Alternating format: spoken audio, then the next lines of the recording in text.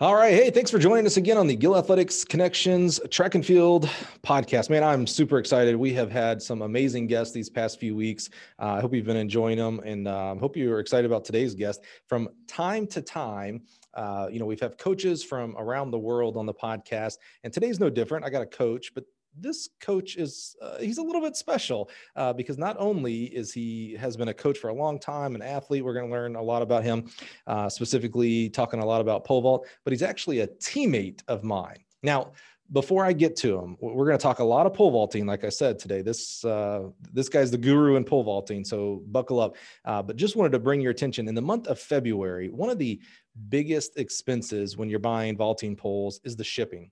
So Gill Athletics for the month of February, so you still got a few weeks left here. Uh, any pole order of two or more from our Pacer lineup, our Pacer One, our Pacer FXV, and our Pacer comp, uh, Composite uh, uh, FX vaulting pole. We're going to do free shipping here in the 48 states. So uh, make sure call your preferred authorized Gill dealer, and uh, let's get free shipping here in the month of February. Okay, the commercial's over.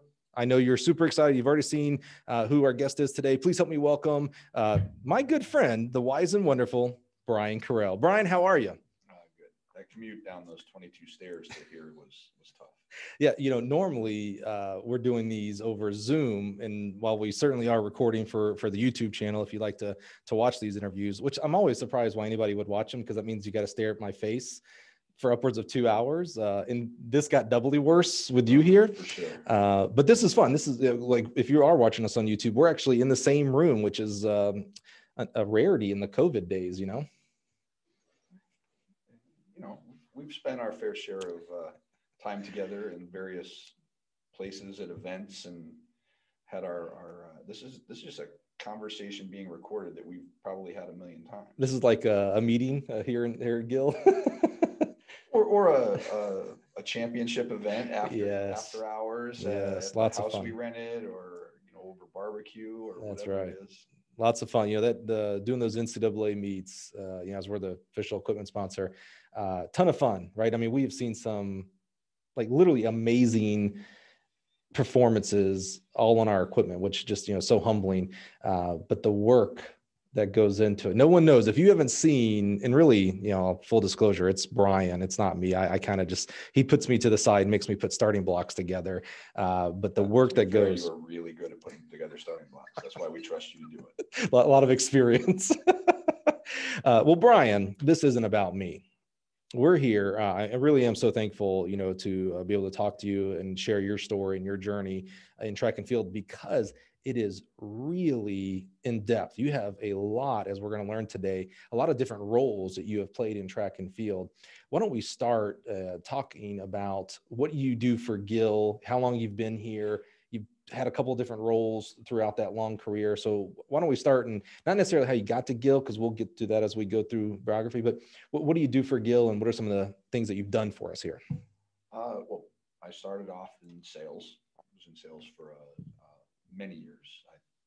I, I want to say 12, 13 years uh, ish. Um, that's still, you know, I still have a lot of people that, that I talk to in the sales side of things, even in my new position as um, kind of an R&D. Uh, I work with the R&D team. Uh, uh, I'm a, in a department of two in field service. Um, we help with uh, prototyping, uh, product development, um, and then uh, in the those occasions where something might go a little awry in the field, uh, myself or my coworker uh, have to troubleshoot over the phone, and if we can't solve it that way, we jump on a plane, jump in a car, uh, we go on site, and we, we kind of make things work. So most people know of Gill Athletics, especially on the Gill Athletics podcast, right? Uh, but we actually, little known secret, we have a sister brand, if you will, Porter Athletic, which is a lot of basketball and volleyball, ceiling suspended curtains. If you think about your indoor gymnasium, do you ever have to do troubleshooting and things like that for those products? Oh, absolutely. Uh, you, you, know, like I said, we're a department of two, so uh, it's not uncommon for us to. Uh, uh, have to cover for each other. Mm. Ralph Paquin, if he's out in the field driving around, uh, and another call comes in, I have to step in. Um, and the same thing, Ralph has been with the company way longer, probably twice as long as I have. Uh, and uh, so he he can absolutely fill any of the, the Gill questions. I where with with our Porter brand, we have some electronic items that hmm. you know uh, I have to rely a lot on our R and D team as well to to help out. Now, you, you mentioned Ralph, who is amazing. One day I got to have him on the podcast because he does have some, I mean, deep history within inside of Gill Athletics. Uh, but you mentioned he's been here doubly long as you. Now, I'm going on 15 years at Gill, and you were already here when I got here. So how long have you been here at Gill? Uh, I just had my my 20th anniversary with the company uh, back in July, so 20 and a half years. Wow, you're old. So are you. Yeah, by the way, lots of inside jokes. I fully expect. I'm just going to go ahead and apologize for all the inside jokes that are that are going to occur today. Yeah, Bryan's been here 20 years and that's uh, amazing. One of the aspects that you mentioned and it, it really is one of the like when people ask me about what it's like to work at Gill, one of the aspects that I talk about a lot cuz to me it's the most fun is that R&D aspect of it. And you have been even before you were officially in the R&D department. Uh, you know, as sales, we have a lot of input and ideas, and uh, you know, we break a lot of stuff uh, in R&D. What, what is it? What are some of the things that you've worked on that people would know uh, that in the R&D capacity? Uh, well, you know, I've got. It's funny that I'm a I'm a pole vault guy, and my my actual um, uh, my my I have patents in with hurdles I have two patents in my name, uh, some ideas that I had that, that we developed. Uh, so, I, but I don't have anything to do with pole vaulting. but is you know being involved in, in certain projects. Uh, our new pole vault standard, I, mm. I helped uh, out with a lot of the uh, a lot of the things to do with that. Um, I, I mean, going back, uh, the stackable rocker hurdle, you know, our oh, 402 yeah, hurdle. That that's right. proposal in one of our meetings. You probably remember. Yeah. Um, you know, I, I, everybody's involved at some level. You know, it's just mm-hmm. and and uh, I always thought it was funny when I did move up to working with the R and D team. They had a a little uh, a mantra that they called their "Get Fired Fridays." So on on Fridays, they used to sit come up with ideas. They had their own little meeting and, and come up with those ideas that they were too embarrassed to to maybe say in a group, uh, and they were just called it. You know, I would get fired if I said this at right. time. So it was their "Get Fired Friday" meetings and a lot of uh, neat things came out of out of that. Yeah, people don't know it because it was just their little thing, but a lot of neat ideas came out of that as well. See, I didn't. I, here I am. I've been here 15 years. I didn't know about this R&D only get fired Friday. See, I, I didn't either. I was in sales. Yeah. When I moved up there and they were telling me about it. So see, they were smart enough to know that, oh, we just need to have like, let's not just be out in front of, you know, the big bosses and everything. I just go straight to the bosses like, Hey man, what if we had a 3D hologram hurdle? How cool would that be? And then it's like, Mike, just stay over, go, go, go, go somewhere and travel. Get out of here. What My are you? My favorite is your electrified. to keep people from tearing the goals down, just hook electricity up to it. So that might still get patented. So I don't know that we want to talk about a brilliant idea, by the okay. way, of uh, electrified football goalposts because I do have a real passion for the people. Because when I was at Ball State, we, we had a terrible losing streak in football, and they they won one finally, right? Now we're going to learn you you graduated from Indiana State, so you're you're very familiar with long losing streaks, right? Uh, and so when we won, the finally they tore down the goalpost. Very traditional, right? We've seen it on TV a hundred times. Uh, but what happens normally when you're watching, you see it and you know you're excited and you move on. You don't actually know about the aftermath. Almost every time, I shouldn't say that, but a lot of the times when a goalpost is pulled down, someone gets hurt tremendously. And at that Ball State game, uh, someone the, the football goalpost when it breaks because it just suddenly snaps. Spoiler alert, it's not designed for people to hang on. Yeah, uh, pretty darn heavy. They're extremely heavy. Uh, it fell down and hit a kid and he was paralyzed. And so, you know, that stuck with me is like, man, when I got here and you know we make football goalposts, it's like, what can we do? And you know, uh, you know, my best solution was the electrified. I also came up with the well, what if we pushed a button and uh, petroleum jelly or something, you know, make it slippery, right? I mean, there's a couple of ideas there because uh, one of the things that you mentioned that I'm still, I don't that, know, that's that's got to be linked to your your southern heritage. Oh, for sure, for sure. Greased pole. A greased, greased pole, pole, exactly. One of the things that you mentioned that I don't know if you know, I'm extremely jealous of. I don't get jealous of a lot of things, but one of the things that I really desire in my career here at Gill is to have a patent. And you have you have two, right? Yeah. dude and that's for, the, for our um uh, the automatic our new continuum automatic right yeah that i'm extremely jealous they're both they're both the tr- the trigger mechanism there's a patent involved oh and the trigger too the actual yeah internal yeah workings was yeah. i'm always trying to be in as many r&d meetings as possible so i can say i can latch on to it like well i think i think i mentioned that and so if it goes to patent i can get on there i want one of those plaques i'm super, do you have the plaques I, I, I did not buy the plaque oh, i would i'd buy the big jumbo I, plaque.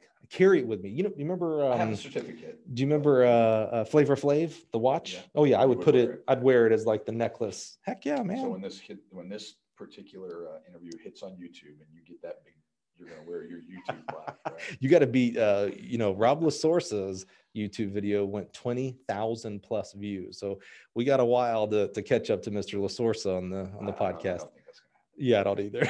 I think me, you, and mom might we might watch it. We'll, yeah. we'll get three views, uh, but we'll get a few more listens. But um, so you mentioned R and D, which is really a lot of fun. Some frustration too, right? Because you're trying to create something from new. And usually when I travel, it's because something's wrong. right. Never a fun. Right. But I get to meet a lot of interesting people. yeah. And see a lot of uh, of really interesting places.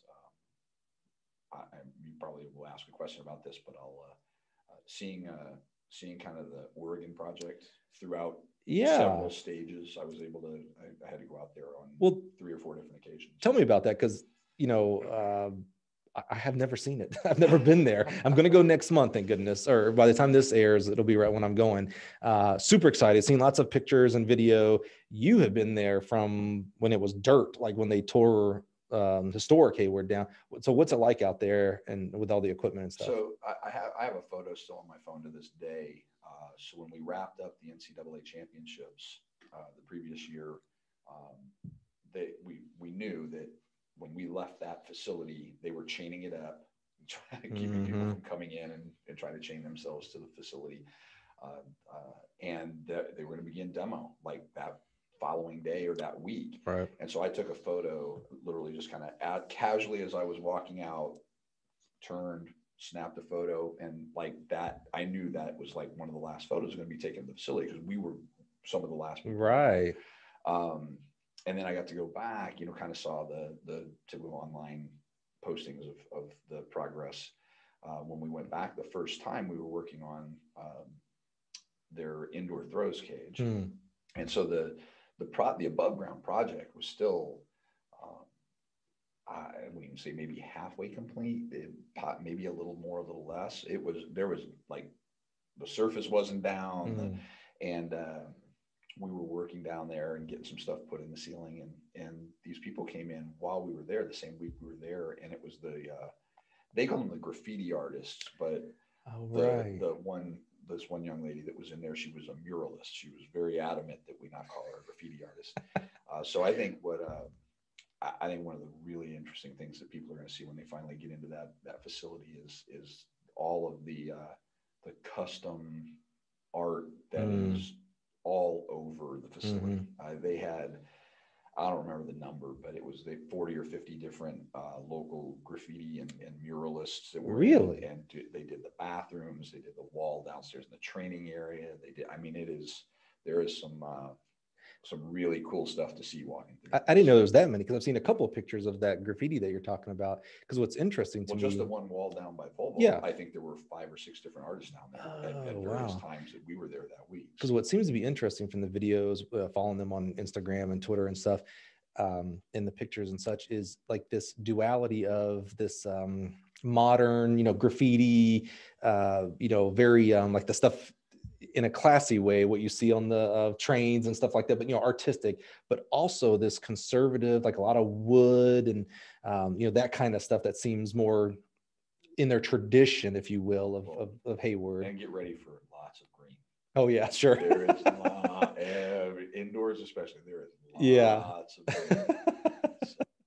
well uh, the pictures make it seem like uh, overall for the whole facility, they did an amazing job. Of course, you know, I won't break my arm patting ourselves on our back that, uh, you know, the pits and hurdles and gosh, everything, right? Uh, you know, we, we did some pretty cool new things. They really pushed us, them and Nike uh, pushed us hard. Uh, we know from uh, living through it, but so thankful, you know, that they would choose us and it, it's going to be amazing. I'm super excited for June. Like I can't wait for multiple reasons, right? Like we missed outdoor last year. I can't wait to have an outdoor track season, but to get to Oregon, and just see it all come together and see the faces of all the kids, the athletes and coaches that'll be there for the first time. Like that's going to be a lot of fun. Yeah. And you, and, and you and I, we travel a lot. We go visit uh, uh, construction. Uh, Mhm. uh, where was it? Um, down in Birmingham. We went on their track while they were laying the rubber.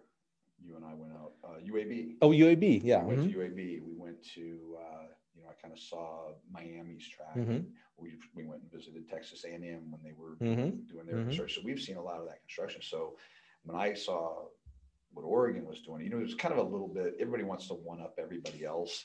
Oregon just one up the world. Like, uh, that stadium is, is That's a good way of putting it. just um, you know there are certainly some olympic stadiums that were built that Right. that are bigger but i don't think they're more grandiose Right. they're the just the um, the very intentional attention to detail Yeah. and, and I- I'll use the word the, excess Mhm. that they went to to uh, to make the the building special Mhm. um, is I just don't see how anybody's not going to just be in awe. You're, you're Yeah. going to go back two, three. Some some coaches are going to be going back two, three times and like, go. I never saw that before. Mm, The- the- that's cool. just so much detail in, in Yeah. the things that are going on there. So, Well, you, you mentioned excess, but you know, honestly, and I and I think you would agree with this. You know, I love it. Like I I, would rather be talking about the excesses of another track facility than remember when uh, Jerry's World came out. and, You know, the big TV, uh, the big screens, the Oh, yeah. Dallas Cowboy, and everybody's like, "Oh, the excess," right? And it's like, yeah, that's great. That was for football, and you know, I like I like college football, not NFL, but I, I love seeing like, oh, did you really have to do this uh, for a track facility? Yeah, you know what? Let's let's get more money and resources into our sport, right? Um, so you mentioned the travel, and you, you do, you know, you've done things, everything from pit garages to ha- hanging ceiling uh, to bring up pictures. curtains. I, of course, I would. Um, things like that. Where, and I'll let's carve out Oregon since we just talked about Oregon. But where, and maybe what was it for, has been some of your most interesting travels that you've had for Gill. I mean, you've done summits, you've done um, uh, pole vault specific street vaults, you've done, of course, NCAA's Olympic trials, et cetera. What's been kind of like, man, you know what? This was a lot of fun. You you uh, you made it easy to answer, and then you made it impossible to answer. uh, you know, as far as as here with Gill, uh, the NCAA events, and uh, previously with USATF, the, those Mm. championship events are are so challenging but so rewarding. And um, you know, I I had a. Uh, this, I'll do the Albuquerque story. Hmm. Um, so we, uh, uh, the Jen Suhr's indoor world record. Mm, yeah. Um, I, happen to have a good data plan on my phone, and so literally, like I videoed that and uploaded it Right. within 30 seconds of it happening, uh, and then, of course, stood very attentively, waiting uh, for he, her to either jump higher or miss that third attempt. right. And when everybody rushed out to congratulate Jen and and uh, you know get a get those photos of her next to the, the video board and all that, I'm sitting over on the pit holding onto the crossbar. Mm, the like- crossbar she set the record on. Yeah, Yeah. The crossbar, like I kept an eye. Knew, I knew that they didn't change it out. Right. I, I held onto that crossbar. uh, I went and got a got her to her and and um, uh, Mary Saxer and and Kylie uh, Mhm, were the mhm. first, second, third. Uh, not in that order. Maybe that order. Mhm. Anyway, got their autographs on it. Oh yeah. Uh, put clear tape on it, and to this day, it's, it's hanging upstairs in the Yeah. R and D area. I, I didn't know Mary and Kylie were on there too. I, I mean, I you know I knew their place. I didn't know he had them, but I knew Jen's, of course, was on there. so on yeah, there. the, being the the equipment nerd that I am, you know, everybody's like, "Woo, let's go say congrats." I'm, I'm over. Good job, Jen. I got the bar. You know, I didn't want everybody else That's to get off cool. with that. So yeah. Um, but in, in the bigger picture of of what were some of the cool things I've done, I you know thinking back, I think you know, we set up a, an exhibition pole vault competition and a Dave Matthews concert one time. That was just crazy cool. Wait, what? I, I don't know this. So- was this for Gill or?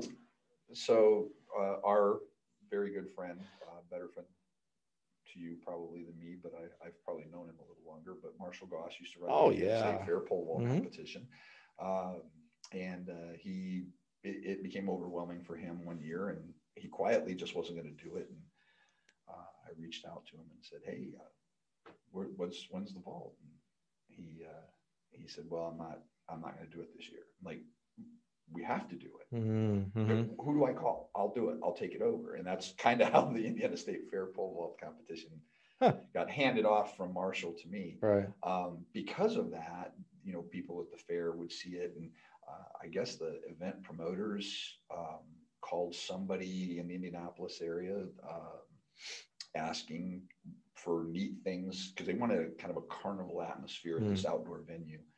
Uh, so we, I got a call saying, "Hey, would you like to pole vault at a Dave Matthews concert?" So as as the people were coming in the the facility, uh, off to their right was the back end of a pole vault pit, and we just kept jumping. All it wasn't it wasn't a competition. We just vaulted, and uh, we Was the concert going on? uh, this was as they were filtering in when the Uh, concert okay. started. Yeah, yeah. All the fanfare closed down. Right. We had VIP passes to go to the concert, go backstage, uh, and uh, it was a yeah, it was a it was a very very tiring long event. Um, and uh, but it was a lot of fun. And then the other kind of the state fair was always fun. That was an annual thing. Right. Uh, and then the other kind of, I think it's the only time it's ever been done. We reached out. Uh, uh, Indianapolis has this event called Circle Fest, Hmm. and so from Monument Circle they shut down two blocks every direction, Mhm. and down, and then they have a beer garden in the center, Mm-hmm. and so they uh, down each way they have kind of a different. At least this is how it used to be. You have a different uh, band type of band, Hmm. Like a Mhm. rock band here, country here, Right. maybe you know hip hop down here. Right. But in the one entryway, they didn't really have any bands, and they asked if we wanted to set up, and it that was the most challenging setup I've ever done. As I was gonna say they say set up like it's uh you know a couple of hurdles or something. This is a freaking pole vault pit and the standards and a runway. Yeah. Yeah, this ain't no simple setup. So the I wasn't allowed to start setting up until after midnight, and we had to be done by I think six a.m. Oh So- and then, man. and then vault, and then and of course what they were hoping was that we would allow uh, people to try it, which we did kind of, but the problem was we didn't realize how early and how much people would drink before they would come over. So uh, so it was a very Were you giving sobriety tests before they could try? We we uh, uh, we actually uh, about halfway through thought we should have been charging a dollar a jump or something. Yeah, We would've been right. In great shape. Uh, so the so we go through the whole day. We vault. Of course, now we're exhausted. 'cause We did the Yeah. early morning setup. We we vaulted as exhibition most of the day, and uh, so now it's um, at midnight. You weren't allowed to start taking anything out of the the the blocks until midnight, and Wow. you had to be done by I think it was three. So we had three hours to get. We we didn't make it. We literally just stacked a bunch of runway sections up on the That is on a the sidewalk and then Damn. quietly came back and and finished removing them. So those are two of the, Wow. probably the more wild. uh, Yeah. You know, there- there's been uh, beach balls and, and, Mhm. you know like, I haven't been personally in, but I I don't, I don't think I've ever heard of anybody jumping at a concert Yeah. um, certainly the Circle Fest is is a very different than kind of the fairs and stuff that are Mhm. out there, but but it's it falls kind of the same. But that was fun. Those were I'm going to ask this by do you remember, but I know you'll remember this when we had the Field Fest right outside here. yeah And Jen was either jumping for an American or world record, must have been world record, right? And Christian Cantwell had just thrown like 72 feet yeah in the uh in the shop that we were doing shot actually we did discus that year too uh and it was just so cool right outside of our factory out in the cornfield. in the cornfield yeah Uh, and I think that that event uh, ended with a world leading mark Mhm. Those two events. yeah yeah for sure i remember the shot and I, yeah i guess so if she was going for world record I probably was a world leader yeah that was really amazing i mean It, it was a lot of work oh, man for Yeah. everybody. And don't ask we're not putting it back on So- that's for sure yeah Whew, But man. yeah, that was a I, I love how that that was uh, the comment was made. Well, yeah, it's it's just too big. We can't manage this anymore. But hey, Bryan, you're welcome to keep doing you know, an event annual if you'd like. Yeah, man, that Oh, was so, amazing. So me by myself now. That would be awesome. amazing, So- unbelievable. Well, you mentioned Indianapolis a couple times, um, and Indiana itself, which plays a lot into your story, and who you know where you came up from and how you got here to Gill. So let's uh, why don't we take a step back? Uh, it, spoiler: this is going to all be about pole vaulting, by the way. Uh, although I may crack a couple of distance jokes at him uh, because he was a phenomenal cross country runner. Um, And I, I proved it no, you, see, this is where the inside jokes come, and I don't know how far to go with the the paper that he showed me, folks. But uh, so let's let's take a step back. When did you've been in track and field forever? Uh, when did it actually start, and how did track become a part of your life? Back in high school, middle school, where did it begin? Well, I was I was uh, I was born in Gary, Indiana. I Lived in Merrillville for a while, and and uh, when I was in elementary school, they'd have field days, you know, run. Mm-hmm. And uh, in my little elementary school, uh, I was fast. I was one of the faster kids in the school, but I wasn't fast. Like Mhm. Right. kind of like big fish in a little pond, Mm. you get in a big pond and go, yeah, I'm not that good. so uh, we moved from. Uh, my mom was an IRS agent. She got a promotion. We moved from. Uh, uh, she used to commute to South Bend, but we moved to, to Indianapolis and moved into Greenwood, Indiana, Mhm. uh, and I got to know a few guys who ran track, and so I'm in I'm in junior high at this point. and uh, so I sorry about that. Um, so my my friends all encouraged me, and, and the way the the tryouts went, we saw tryouts and cuts. So first, For track. yeah, Wow. yeah, because a big track team. Is that? Um, or it was looking back now, I was a kid at the time, maybe it was just a really crotchety old coach who didn't want too many kids on the team. Right. Right. Um, so uh, I, I go through the tryouts and the tryouts worked where you basically tried out for everything. okay. There's certain kids, they knew they were going to do something, but everybody tried out for everything. So you did a little bit of shot putting, Yeah. jump, long Ran. jumping, ran. Yeah. Did you do hurdles? Uh, did not do her. Mm, yeah, you missed out. Okay. I think he knew better than take a bunch of junior high kids and just throw them at the hurdles as a tryout. Um, and I, I, so I made it through the first cuts, Mhm. came back, and they had a they they did a little pole vaulting, and I I just one of my other friends had done it uh, previously, and and um, I really liked it, and I, and I thought I was pretty good at it, but I I you know it didn't go well. Sure. Had you seen pole vaulting before, or was this the first time you had Oh, seen man. it? Like you'd seen it at Olympics or anything like that? If I had to guess, I, I'd never seen it before in my life. And so when you saw it for this first time, was there like an immediate, I mean, because this, uh, you know, spoiler alert, your whole life has been pole vaulting, my friend. So like, I wonder story to go along with that. what was that first reaction when you saw it? Or was it like you had to grow into the love? Or was it immediate like, oh yeah, I want to do this? Well, I think it was more I wanted to be a part of the team. I, I didn't Mm. care if I was good at pole vaulting, Yeah, or okay. or uh, my, my height, I wasn't going to be good at high jumping. uh, hurdles, if I'd ever, you know, I just wanted to be a part of the team. I, Yeah. I had made, I had established some friends. You know, obviously, track is a later in the school year, so I wanted to be, I wanted to Mm. continue to do what these guys were doing. right. Um, and uh, so the second cuts come out, and this had been after we had tried pole vault. I think, they, I think the trials were like over a week. Okay. And I got cut. And Oh, uh, no. So we were getting ready to go. How have I not known this to make fun of you for the past 15 years? Oh my goodness. So, Oh, man. so- but You're I, like, you're like Jordan. I was, I was, I kind of felt like I was doing well. I was not, you know, up with the top three or four guys, but I was, you know, picking up on it pretty quick. Uh-huh. And so I went to the coach and I was devastated. I, and I just, Mhm. they, they were getting ready to go on spring break. So the, they had this spring break time where they would continue to practice. Um, and the practices were voluntary Hmm. uh, because he knew kids were going to be gone. And, Yeah, but break. then they would start their, they would start the season once they got back from spring break. I mean, not many states have junior high track anyways, so our Mhm. season was pretty small, but so I asked him, I said, you know, I, I feel like I was, this pole vault thing was going pretty good. Could I come to practices over spring break? And he, he kind of begrudgingly was like, yeah, but you're not on the team. Mm-hmm. You know, he kind of said, you're still cut. Mm-hmm. End of that week, he came up to me and I, I was now beating the best guy. You know, like my pr- progress just kept going. And uh, I was now, if he cut me, he was cutting the number one pole vaulter. Right. And he kind of recognized that. And he was like, why don't you stick around? And I, I went on that year to never place worse than third. And I got a, several first and second place ribbons. And So what?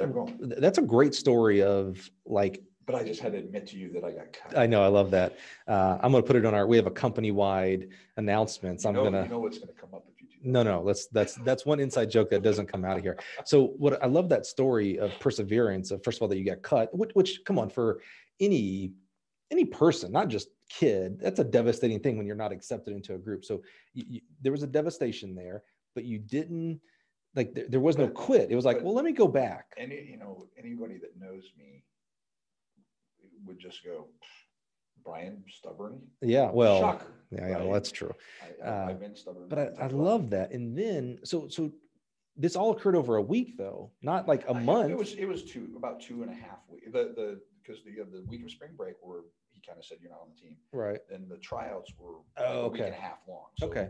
I, I tried out for a lot of other What things. so. because back then we didn't have YouTube and uh, you know access to any kind of like right now if a kid gets cut, he can go on YouTube and he can kind of see what to do in vault or another event and kind of get better that way, Or go to a club. or, or go to a club. Yeah. Uh, what?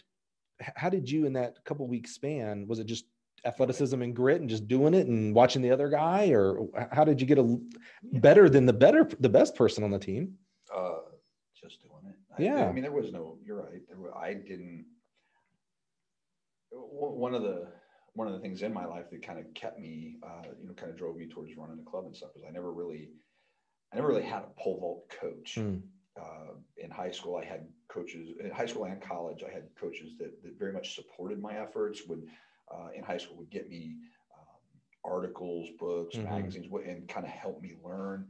And, and they didn't, they didn't step in and, and try to pretend they were a coach. They, Mhm. they, they were along the journey with me of Mm. learning more about the event. And that, and I think that really helped out a ton. But that's where I kind of, I look at, um, you know, I look at kind of the kids in the area uh, where I've been in Terre Haute and, and uh, uh, when I was in the Marine Corps, I did a little bit of volunteer coaching and um, I, I, I'm like, man, I, I want to provide those opportunities and help, help, ex- you know, increase. Right. the, the knowledge base, keep kids safe. right. Uh, and that's kind of what led to me doing a club all these years. Well, well, don't don't don't jump ahead of me yet. I, Uh, I went, I went down that path. It's all good. We're gonna we're gonna catch along on that, catch up on that path. Uh, so you kept doing the pole vault, uh, went through high school, and you're doing it in high school. You also there's a and this this always does fascinate me with you and your family. You have a uh, fairly extensive background in swimming and diving as well, right? So was that did you do both uh, pole vaulting and swimming and diving in high school? Well, as you alluded to, I was a pretty good cross country runner as well. Yeah. So uh, my my three sports, I was cross country, uh, diving, and pole vaulting. Right. Um, in in high school, in particular, I wasn't a, a very good student. Mm, I, I had I struggled quite a bit. Mhm. Uh, I, I'm one of those guys that uh, you know, if you go back to the report cards, and the teacher would always write like a note. Mhm. I always got the. Uh, He's really intelligent if he would just apply himself. You know, like, Oh, teacher the old apply yourself. So, um, uh, but yeah, I was, uh, I, I made it to state in diving. Uh, uh, as a sophomore, uh, I did not go as a junior because I had a quote attitude problem. I could, that's a whole other story. Uh, and then my senior year, I had actually uh, in early season competitions, because swimming and diving kind of bridges first semester, second semester. Mm. I had beaten the some of the top divers in the state in some meets, but then I my grades slipped and I was Mm. ineligible. Mm. Uh, and the guy that that guys that got first and second, I had beaten in early season competitions. Um, And we're talking about Indiana, which I think is a fairly They got a good- like top five state for high school swimming and diving. well, I, I mean, I mean, outside you, I assume California and Texas just because of volume, but I always thought Indiana was a pretty they have really good swim programs for sure. Yeah, I, okay. the diving, I could, I'd have to default to my sister, to Yeah. for sure. because I think the other thing you're kind of getting at is, is, you know, I have a nephew that's one of the top divers in the nation. Yeah. Uh, he's currently dives for the University of Miami, competed in his first Olympic trials at the age of like Young. 14 Yeah. which isn't crazy. uncommon for divers, but it, Mm. it, kind of is. but, Okay.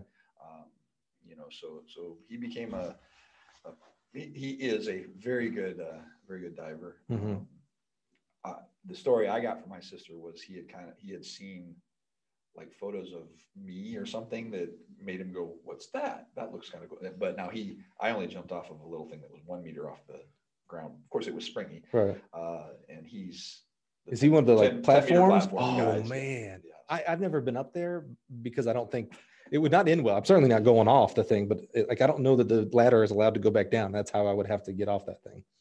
You can go back. Yeah, well, that's well. First of all, I'm not going up it, so it doesn't we, matter. We did, a, we did yeah. a tour of uh, the IPY auditorium where, where, Mm. uh, my my nephew was training at, and they allowed you to go up just to look off, and then you could go back down. Dude, how scary! I mean, it's So 10 meters. I mean, it's up there. Yeah. that's like our tallest hammer cage for crying out loud. Put it in perspective, right? I don't want to be on the top of our hammer cage and then jump off of it. By the way, no way, not happening. So, how was uh, through high school? How was pole vaulting going? You said you didn't really have a pole vault coach, specific coach. Uh, were you still getting better and achieving some success in that? I mean, basically, I improved about a foot a year Hmm. uh, as I came up through, you know, footer a little more, and um, you know, my I made the state my sophomore year, my junior year, uh, I was not allowed to compete because my junior year I had a I had some pretty. Uh, Do you want to share with us this attitude problem you had? uh, issues in my junior year, and, and the track coach also uh, made the decision that that he wasn't going to let me compete in sectionals. Okay. And uh, so I couldn't do anything, and the, then I'm the following year. Uh, myself and and uh, two other two other guys across the state, one from a little south and one from up north. Uh, uh, we took first, second, and third. Jumped, you know, I got third Wow. on misses and uh, went on to get my first 16 foot jump the week after the state meet, which Wow. would have won it, I think. Oh, Uh, but yeah, so so it just kept it. You know, they they you always hear the stories about athletics kind of keeping people on the right path. Mm. Um, I I could honestly say I probably the only reason I I kept my grades up was so that I could do sports. interesting. You know, Yeah, you hear that? And although I Yeah. did have struggles, eh, but though I think those struggles my junior year is what kind of taught me that, you know, I really miss being able to be on the Mm. teams and When someone's taken away from you. Teams is doing a little bit better in the classroom. Right. So I started doing better in the classroom. So you, you were essentially you were a 16 foot jumper in high school. We'll say 15, 6. Yeah. Okay. See, I would just round up. Um, what was this on bamboo or steel? Like a javelin. back then? I just round up. what was this on bamboo or steel? Because it's been, you know, this was back in your high school day. So 1930. Yeah. Yeah. not- that's not uh, so obviously, but we are talking about this is the 80s because I graduated 94, so 80s. Um, a 16 footer was at least recruitable for colleges and stuff Sure. like that. What, what was the next step after high school? Um, you know, again, I, I think I had a, I- I've told you this story before, but I've, I've had a kind of a moment of clarity. Uh, I pretty much knew as a, as between my junior and senior year, you know, when everybody's looking at colleges, um, I kind of recognized that, you know, I wasn't ready to go to college. Mm. Like uh, I had a, uh, I don't know how a, uh, a young, you know, barely getting by high school kid realizes can I, I had the the ability to see into the future and go if I go to college I'm never going to make it and I'm going to end up working at a gas station Mm, no offense to people that work at gas stations mhm. but that wasn't where I wanted to be right. um, so I actually chose to uh, join the military uh, Hmm. I you know career fair day went and talked to the army recruiter um, and uh, set up an appointment to to go see him. Uh, my mom dead set against this. She Is that right? Ooh, yeah. My dad, yeah, he probably should go. Um, so so I the uh, I go to the recruiting office and, and I get ready to walk in to see the the army recruiter. I was a little early, uh, and uh, there's this marine in his dress blues leaning against his door out in the hallway, and as, as I in the army? The, the- most of the time, the recruiting offices are all Oh, in okay, the same okay. building. So you're about to walk in the army. He's hanging So out in the an marine. appointment, Yeah, and so Okay. there's this Marine standing out in the doorway, and uh, I walk by, and he's like, so you think you're going to join the army, huh? And I was like, whoa, yeah. He was like, real men join the Marines. And he turns around and walks into his office. Of course, the added, you know, the the the, the sports, the the athlete competitiveness. Like, what? Wait, what? I turn around and I ended up at, in his office and, and missing the army. That's how you joined the Marines. The Marine Corps was uh, a chance encounter with uh, a very good recruiter uh, standing out, plucking. Wow. Um, kids getting ready to go. Yeah, he was just waiting for people to show up to the army. I yeah. to be that one. So you literally walked. You you were behind him, and you like, what did you say to him? Like when you. Uh, you know, I yeah. Just, I, that one. But was, that's the day you signed, or at least uh, decided. I couldn't sign. I wasn't old. Oh, okay. So this had to be. Uh, but it, it definitely I changed my wow my my branch from Army to Marine Corps be, because of that. That's and, I think there's a story there for people who are recruiting track athletes. Hang outside the football and be like, well, you know, and wait for the real men and women that we run track. Crazy pole vaulters. um, so, so to, to, in order to actually go go into the military, my mom had to sign the paperwork. Oh, and I she was wasn't young. really kosher about was, this. I was a young student athlete. Uh, there were probably a few teardrops on that sheet of paper as she, as she signed. So, yeah. Yeah. So what's it like being in the Marines? Like, you know, we, we talk about you're never a former Marine, you are a retired Marine, right? Is that how you're supposed to say? But you're always a Marine. Once a Marine, always a Marine. Once a Marine, I, always a Marine. I always kind of reserve the the retired. Uh, that that that has that indicates that you spent your 20 years. You did, mm. you did a full. Gotcha. Uh, I was only in for about five years. Well, well, don't minimize it. Only five years. I mean, that's. But you know, once. That's ten years more than me because I'd be negative five. I couldn't do it, man. uh, they chew me up in the Marine. You know this. Come on now. This is that's not a secret. So what what was it like? Like, where did you go for training? What was your job in the Marines? Uh, well, uh, you know, they always talk about where'd you go to boot camp? I was mm-hmm. a Hollywood Marine. To this day, the smell of jet fuel reminds me of boot camp. You said Hollywood Marine. It, uh, the Marine Corps has two training places where they train uh, incoming Marines, and that's for enlisted, and that's in in San Diego and Parris Island. Okay, so Hollywood, so, San Diego. Hollywood, San Diego. Yeah. Okay. Diego, yeah. Uh, but the the Marine Corps base uh, is where they you know, do this training is right. There's a gate next to the airport, San Diego Airport. Okay. So the smell of jet fuel. Oh yeah, in the yeah. Mornings, yeah. you go out for your run, you smell jet fuel. You right. formations, you smell jet fuel. Everything you smell jet fuel. Huh. Uh, so that brings up that memory. Yeah. So oh, I, that's interesting. I, you know, when I fly these days, if I get out near a yeah smell the jet fuel, it just reminds me of boot camp. Wow. um, so when I graduated, I, I, graduated boot camp. I went back home, um, and uh, my my first training duty station. I, I, went in open contract. That just means do what you. I don't know what I want to do. Just yeah. assign me to something. Okay. And, and uh, uh, usually you end up being a, a grunt, uh, you know, just a ground pounding, mm-hmm. you know, nothing, no, um, you know, you're not, you're not like driving tanks or working on planes.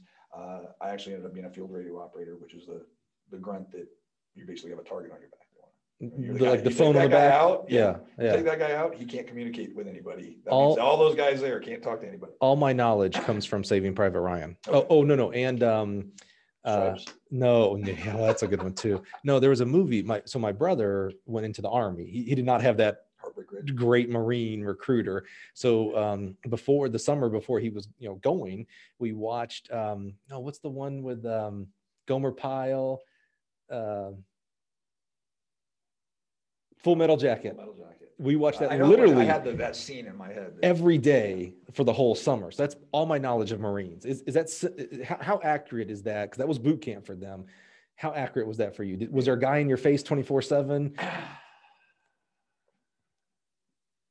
I mean, you know, they condense movies into these. It's it's Hollywood, like, yeah, yeah, yeah. You know, yeah you still went to sleep. You still yeah. woke up really early. You, you know, so there's. Did they beat you with soaps and a sock? I remember that scene. Uh, not me personally. Okay. All right. No. um, no, I mean everything has a little bit. Of, everything in those movies they try to have a little bit of truth. To okay. But uh, you know the the idea of a blanket party, right? Which is yeah. You know, I, I had heard rumors of it. I don't know that it ever happened. Yeah. I, I never was personally aware of it. That's, right. That's a little Yeah. You go a little, little crazy. there. I was- Full Metal Uh, Jacket, man. Watched it every day. It made me look crazy. so, where, where were some places that you were stationed, and some of the things that you did in, in the Marines? Well, you know, so so I went to 29 Palm, 29 Palms, California was my first training duty station. That sounds really nice. uh, I'm trying to remember the general, one of the, I think it was Patton.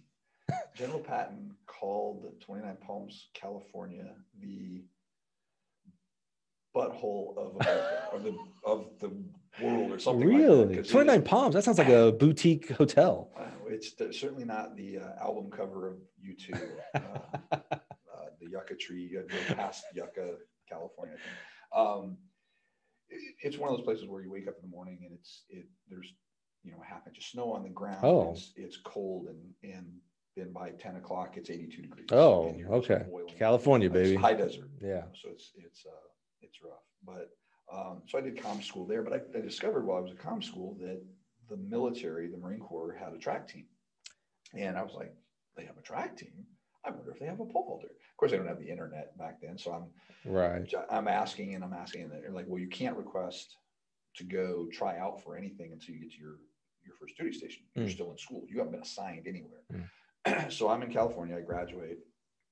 My first duty station is Quantico, Virginia. Oh, yeah. So I fly all the way across the country, get there. Uh, luckily, uh, I was uh, stationed at OCS, the Officer Candidate School there Mhm. um, at Quantico, and uh, I go to I get assigned to uh, a maintenance department. Like they everything else was full. It was the the summer. They didn't have a lot of, of candidates in, or it was summer. Anyway, they didn't have a lot of candidates on on going through at the time, so they they didn't need a, thought, a lot of personnel. So I get assigned to uh, this maintenance department, mowing lawns, Mhm. uh, fixing stuff. Surprise, right? Man. Um, so I go to my commanding officer and uh, I, I, I'm like, hey, I heard about this track team thing and I heard the tryouts are coming up. I- Is that something I could do? I was a pole vaulter in high school Mhm. and, uh, and uh, my, my gunny really championed it. Like he didn't know me. He'd, Well, he'd known me for like a week. What's a gunny? Is that like your? he was in charge of me. He was the first the manager? guy that like in my department who I went to. He was my boss. Okay. There were certainly people above him. Well, we know chain of command. So that's your first, my first in ring. Yeah. Mhm. And uh, he, you know, didn't know me from Adam, and uh, he said, "Let's go see." And uh, sure enough, a week later, so I fl- I fly to Quantico, Virginia, All right. from California. Um, time change Yeah. delirious. A week later, I fly back to California because the, the the training facility was uh, uh, El Toro, an Air Force or a, a air base, a Marine Corps air base Huh. uh, in in California, and uh, I, I didn't know if it was day, night, the time. I just remember being very disoriented down there. And, uh, uh, they, it, the funny thing is, you know, we always hear about um, equipment problems. You know, people don't have poles. Mhm. Big deal, right? Mhm. Uh, same same thing. I had to call my dad. He shipped me out some poles that he had bought over the years, Wow. and uh, so I could have poles I trained. And then where they trained was wherever they could get in at. Mm. So I had trained at uh, the Redlands for a while. I trained at um, UC Irvine for a little while. I trained at, you know, there was, who knows, I don't remember all the tracks. Right. but- and uh, then they would just enter competitions out in California. Um, the Hmm. old LA relays. I got to, I got to jump in, in one of, I don't remember what year those ended, but I got to jump in an LA relays when they were still kind of a big deal. So- Now, you know, consistency matters in any event, right? Uh, pole vault maybe more so. W- Were you able to get consistent training? Like, or was this just like a once a week? Like, how did you actually do the Marine job, but then also vault? Well, you don't. You, you uh, uh, you're you're on TAD, stands for temporary additional duty. So at that point, we still had you know a morning formation. We all had to come out. Our our uniform of the day Hmm. uh, was shorts and a t-shirt, and you know we'd eat our breakfast and we'd go to the track and and uh, work out. And it's kind of my first uh, uh, my first experience in writing workouts because they Yeah, no a coach, right? We Yeah, training. right. You know, that you- I wrote my own workouts. I went out and vaulted all by myself. Were there some good athletes? Uh, Yeah, I mean, they are all athletic, but like, were they? You know, so so that year I, I we competed in enough meets. I, there were no other Marine Corps pole vaulters, and, and the way the there's the season wraps up is is you go compete in a in, in an inter-service meet, Hmm. and uh, uh, in that inter-service meet, the Army, Navy, Air Force, Marine Corps, you all compete against each other, and then cool. that they select um, a what's called a CISM team. It's Council of International Sports in the military, and they kind of have a military Olympics. Hmm. and uh, I made the uh, I made the pole vault squad, so I made the CISM team, which was kind of cool. Uh, Very. The CISM championships were over in Germany that year. I never Oh, country, so That's a big deal. Like, yeah, yeah, yeah. So, so uh, and I and I would be I'll, admit to this because there's going to be people that are going to watch this and know who this is. But um, when I got to Gill many, many, many years later, uh, I was talking to one of our dealers, Hmm. and uh, uh, this this Marine Corps kind of background thing came up, and and the the meet, and um, I discovered that I I had competed against one of our dealers back in the day, and he had beat me. I had no Mhm, heighted, mhm. and uh, so uh, you know I'll, say this for Eddie Cease. I got beat at by Eddie It's the- Cease, the, the only competition I've ever competed against. Only thing I like Eddie Cease for is that he beat you. Yeah. Now you had to know height for him to win. I, I didn't yeah. know height, but hey, that's part of That's a win. That's right. His name was above yours in the stat sheets. That's right. So what else in the Marine and uh, what led you? You said you did five years. What led you to get out and continue Well, moving on your career? um, it- you know, again, it's the, the weird things that we do in our, when we're young. So, you know, I, I did my four years. I kind of knew that, that I had, I had gotten out of the military at that point, what I, what I wanted. I was Mm. more mature. I was ready to go to, go to college. And I wasn't sure that I wanted the, the military life was like Mm. the path that I was, I wanted to pursue. Mhm. I always knew it would be there if like when you're younger, you can always fall back on Mhm. or go back in. But but- and I if I go to college, I can go back in and, and go through OCS. I knew what it was about.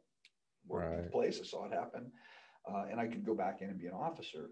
Uh, so when your when your time is up, you go talk to a few different people, and they try to convince you to stay in. At the time, they were offering like Mm. re-enlistment bonuses Mhm. in the you know ten thousand dollar re-enlistment bonus, Mhm. and, you know, so you didn't get paid a lot, but to stay, they would give you these these incentives to stay. Right. Well, our commanding officer at OCS had changed, um, and the the you know the Congressional Medal of Honor is a, a, a very rare award, uh, and to be awarded the Congressional Medal of Honor and still be be active in the military is is even more rare. Our um, the commanding officer at, at Officer Candidate School was a gentleman, Wesley Fox, and, and so he was one of the maybe two or three uh, CMH holders that were still actually in the military. He Hmm. was my commanding officer. Oh wow. So now this this looked like a movie to me. I, I went into his office. He's one of those guys like he was a you know a Marines Marine. He Mm, camis you know didn't have the creases in him. And Uh-huh. so I don't know that he knew what starch was necessarily. and uh, this is how I remember it. All right, right. Anyway, So I walk in and, and you know he's got a cigar burning in the office he has he is literally kicked back in his chair with his boots up on the table and, and you know of course i have to do all the the form, formalities Right. of, of you know walking in standing at attention you know uh, and he's just like relax marine I'm, okay and he's like so what do i have to do to get you to stay in my marine corps and i was like uh, you know sir I, I you know i know that i've already talked about the enlistment bonuses and, and everything and, and they offer promotions so that if you stay in, you'll you'll immediately be in a little bit higher pay. right. And and I I just said to him, I said, sir, I, I said, if you could offer me meritorious meritorious promotion to commandant of the Marine Corps, and I would probably still get out. I'm ready to go to college. Wow. He let out the biggest like laugh, just well, good luck, Marine. You're excused. And that was like my whole conversation. Wow. I, I just I had made up my mind. Like like I felt like I was being hounded Mm. to try and reenlist. And Well, it's hard to say no to a guy like that too, right? Yeah, I yeah, it was. yeah. It was. Uh, he's an. He was a very intimidating Right. man to, Hmm. to be for sure. So, So you get out and you go to you go straight to college or um, yeah, I, I had. Well, so I had reached out to several of the schools back in Indiana. That's where I wanted to go back to. Uh, Mhm. Back to. I had family, you know, friends, um, and uh, John McNichols did a, an Hmm. absolute um, amazing job of of sending me, you know, didn't have email back then, sending me letters with, you know, telling me about how the team was doing with meet results, uh, checking in. Um, of course, I didn't have a cell phone. Back then, every, you know, the cool thing was to have a car phone, right? Oh yeah, you didn't have one of those, did you? not. Oh, I was about to say. Couldn't afford a car phone. Um, and and I, you know, I, I was, I kind of wanted to go to IU, but Hmm. they, you know, they had some very, very good vaulters. I, I hadn't, you know, I, even though I jumped maybe 15 and when I was in the Marine Corps, that's Hmm. still just, you know, coming into college, especially if you've already got a group of vaulters, you Mhm. need a 15 footer. So I kind of, Marshall had kind of encouraged me, you know, he did reach out and, and said if I wanted to walk on, that would be great. Mhm. And, but on the flip side, you know, my, my mom was a graduate of Indiana State. And Oh, so I had gone yeah. back and, and, uh, kind of visited and, and I, my grandmother lived in Sullivan, Indiana, which is just south. Mm. I'd been uh, camping and fishing at Sullivan Lake, you know, as a kid. Mhm. Uh, and, uh, so I just decided that was where I was going to go. And, and, um, so I started off, I, I got in in first semester and, and took a few classes and So, so you're like a 23 year old freshman, 22? 22. Yeah. Okay. Wow. I I mean, because that, you know, we talk about 18 year olds coming into college. Well, now here's a, a guy who, you know, been in the Marines. Like it, it feels like you're getting something a little extra special with that freshman. Yeah, yeah I yeah, I mean, you know, there's it, it's just the way I did it. Mhm. Uh, I don't know that uh, uh, it did I have a benefit from it? Probably as the just the maturity. I was gonna say four years of just physical maturity, but also mental, eh, I social. needed that to be a freshman in college. you know. that brought you up to the 18 year old freshman level. Um, what, what did you go into major in? What was your thought process there? I, I always, you know, kind of my my thought process was I always wanted to to be a teacher, and I always wanted to go back to Hmm. like the Greenwood area. I could see you know, that. Yeah. at your old high school. Mhm. I graduated from Center Grove. Right. Um, but uh, you know, life took me a different path. But I did. I, I went to. I started at Indiana State as a, a freshman in in education. Um, Yeah. I was going to do an emphasis on physical education. I Mhm. wanted to be a coach. I Mhm. thought that was cool. Um, I had gotten far enough, like you know, if you if you take classes enough and then you try to quit, they don't give you your money back. Thing. It's a thing. Who knew? uh, so so uh, uh, I went and I got a Western Union mailgram from the Marine Corps, cordially inviting me back for the Gulf War. When I say that, that's a that's a joke. I they didn't cordially invite me back. I had to go back. Is that right? Yeah. Uh, Wait, wait, wait. So you got out of the Marines. Mhm. You enroll almost said enlist. You enroll at Indiana State, Mhm. and they they yanked Yeah, you back so- in. So when you join the military, you typically have a. So I did a four-year enlistment, but Mhm. a four-year enlistment means an eight-year obligation. So you do four years active duty, then you're you're four years inactive duty. And what inactive duty is is you just have to check in once a year to say make sure your address and stuff are up to date. Because if they need you, they're going to call you back. Uh, once my eight years was up, then I was officially out. Right. Not that they still, it's the government Right. kind of grab you if you want, but Right. you would be very, I would have been very low on the list. So after however many months I was in, at Indiana State, uh, my dad uh, got the Western Union mailgram and he was scared. He knew what it was about. So he, you literally have one week from the day you get it Mm, to, to report to Indianapolis. mhm. Well, he waited two or three days. He was nervous about, you know, he knew I was being called back in from the Gulf War. Mm, he knew. Yeah. But finally, he knew he didn't want. He also didn't want me to be a traitor. Right. so, sure. so he was Some integrity there. He called and, uh, you know, I, I got called back in, and I had to go to the president of the university and explain to him that I had been called back in.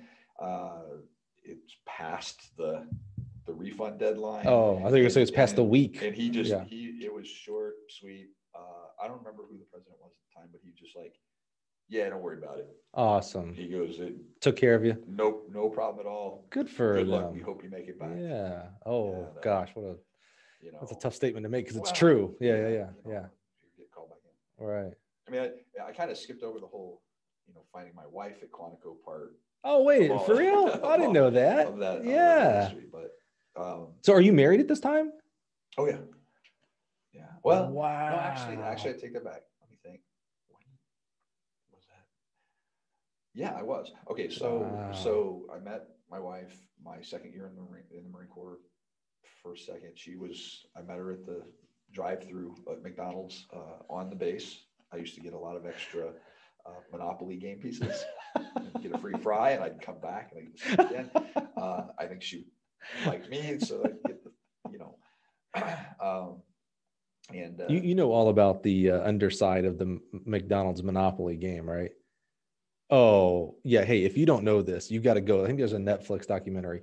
Like the mob was involved, money laundering through the McDonald's Monopoly game. really, Yeah, tremendous. Yeah, like like legit, not like uh conspiracy theory here. Like no, no, there's people convicted. No wonder I never won, won anything more like a free fry. No one did. Yeah, because it was all set up for this one person in you know Queens or whatever. I don't know where the mob or you know hangs out, but yeah, yeah, no, it's legit, legit. Sorry, I just No. when you mentioned that, I was like, do you know? Uh, so, Yeah, so we, we dated for a couple of years and we got, I got out of the Marine Corps, we got married. I drug her to Terre Haute. where, where- she's not from Indianapolis area, Uh, she, her, she's a military brat. Hmm, Uh, she lived her life kind of on military basis. Okay. So, so now she's, I, I get called back in. She's Yeah. all by herself Oh, in Terre Haute. in Terre Haute. uh, you know, working a job, literally knows nobody. I'll yeah, I'm- right. Yeah, no friends, off- no family. I'm back off to California where they, you know, we got in processed again. And I didn't actually uh, get called over, you know, I, because I got called back in, I'm a Gulf War veteran. Okay. I, I didn't see any Okay. action, so to speak. Yeah. So, because it, it was during kind of the, um, they were ramping things down a little bit. Okay. Like, it, it you can't just turn things on a dime like that. Right, So- right, right, so I got in, I got to spend some time out in California, play a little beach volleyball uh, in Riverside and, and uh, uh, have a couple of beers with, with guys and stuff. And um, then I got back out came home. So how long was how long was that?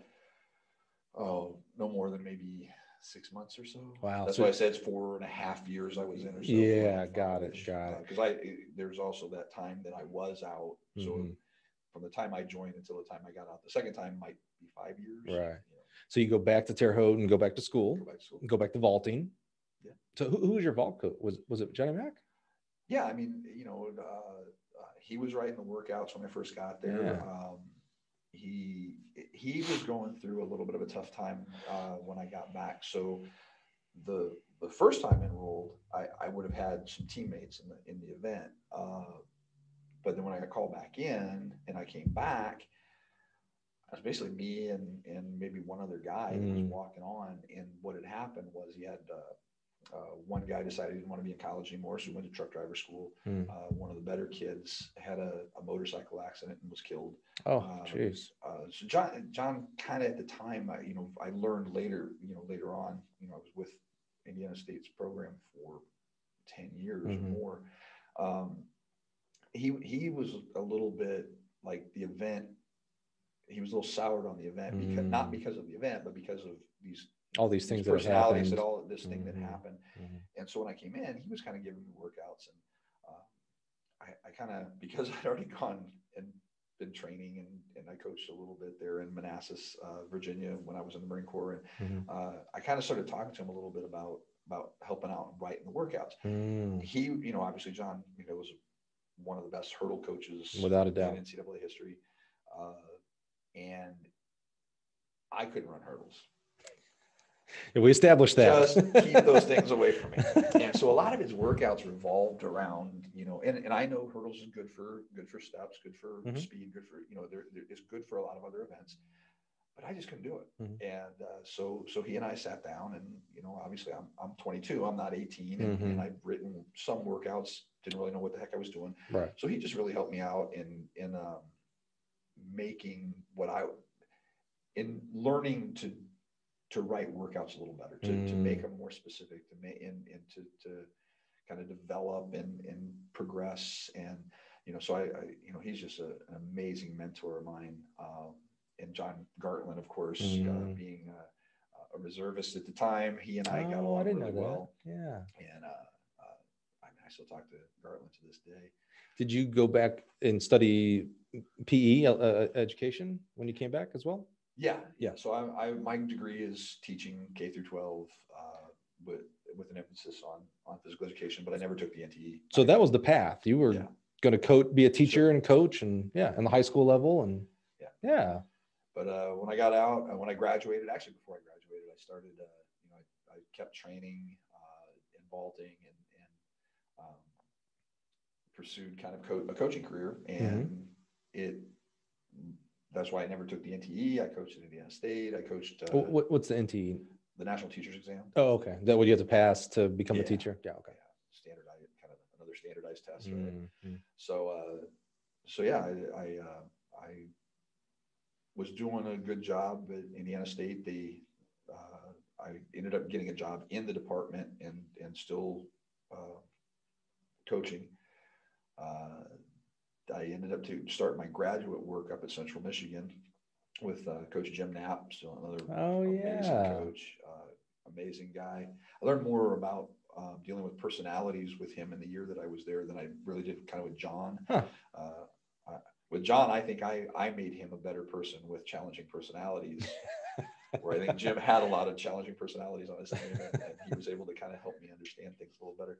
Uh, for those that knew John, uh, he he had this this vein in his forehead that if you got under him, his skin just right, that it, he he wasn't an angry person, Right. But that was kind of a telltale sign sometimes, and, and I saw it frequently uh, as a student athlete and as a coach occasionally. if you're not at button heads with your your head coach every once in a while, you're probably not, you know, proving yourself. that's right. That's right. So you went from Indiana State to Central Michigan? and then uh, then uh, yeah, and then John called me and, and said, "Hey, I want you to come back." Okay. so he, uh, w- my wife and I, we had a, you know, I had a son uh, Mhm. while I was in school, and and you know, leaving Terre Haute was really tough. Uh, we were starting to settle up, settle in, in in Mount Pleasant, and, but then when when uh, John called back, like I had a really good, good group of athletes. Uh, had gotten a vaulter uh, uh, to indoor nationals, had a Hmm. A really good triple jumper, uh, a guy from Ghana, Africa that I was working with. He he transferred, so it it really my leaving didn't change any of that. Mhm. Um, but when I when I got the offer, I went back. I went home to Lori and I, I said, "Hey, uh, so you want to go back to Terre Haute or not?" And at that time, we were both kind of, you know, we're here. We're you know, I hadn't finished. Uh, I hadn't finished my degree. I was I was pursuing my master's in, in coaching. Hmm. Um, and so I said, "Okay, look, I'm going to write down on a piece of paper, out of 100 percent, how much I want to go back to Terre Haute versus how much I want to stay here." Okay. you know so if you're but we have to agree you know like you can't go 50 50 Mhm.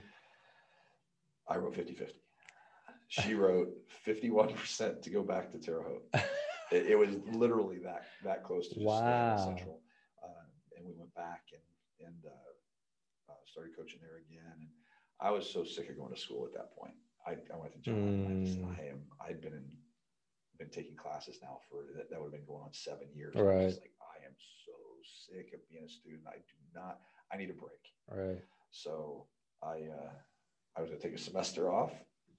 I'm still taking those semesters off. it keeps extending. to this day. Uh, You're in your So- 20 something so I year. Never, never finished my master's. Uh, and, uh, but John worked with me. He, he made the position, you know, kind of a stipend Mm. position versus uh, uh, for the GA, and, and that was where I had the I worked in the athletic department. yeah. So It- um, so, because where where does it fit in where you come to Gill? You were at Indiana. State. well, okay, so. Terre Haute's not that far from here. Right. hour and a half. All right.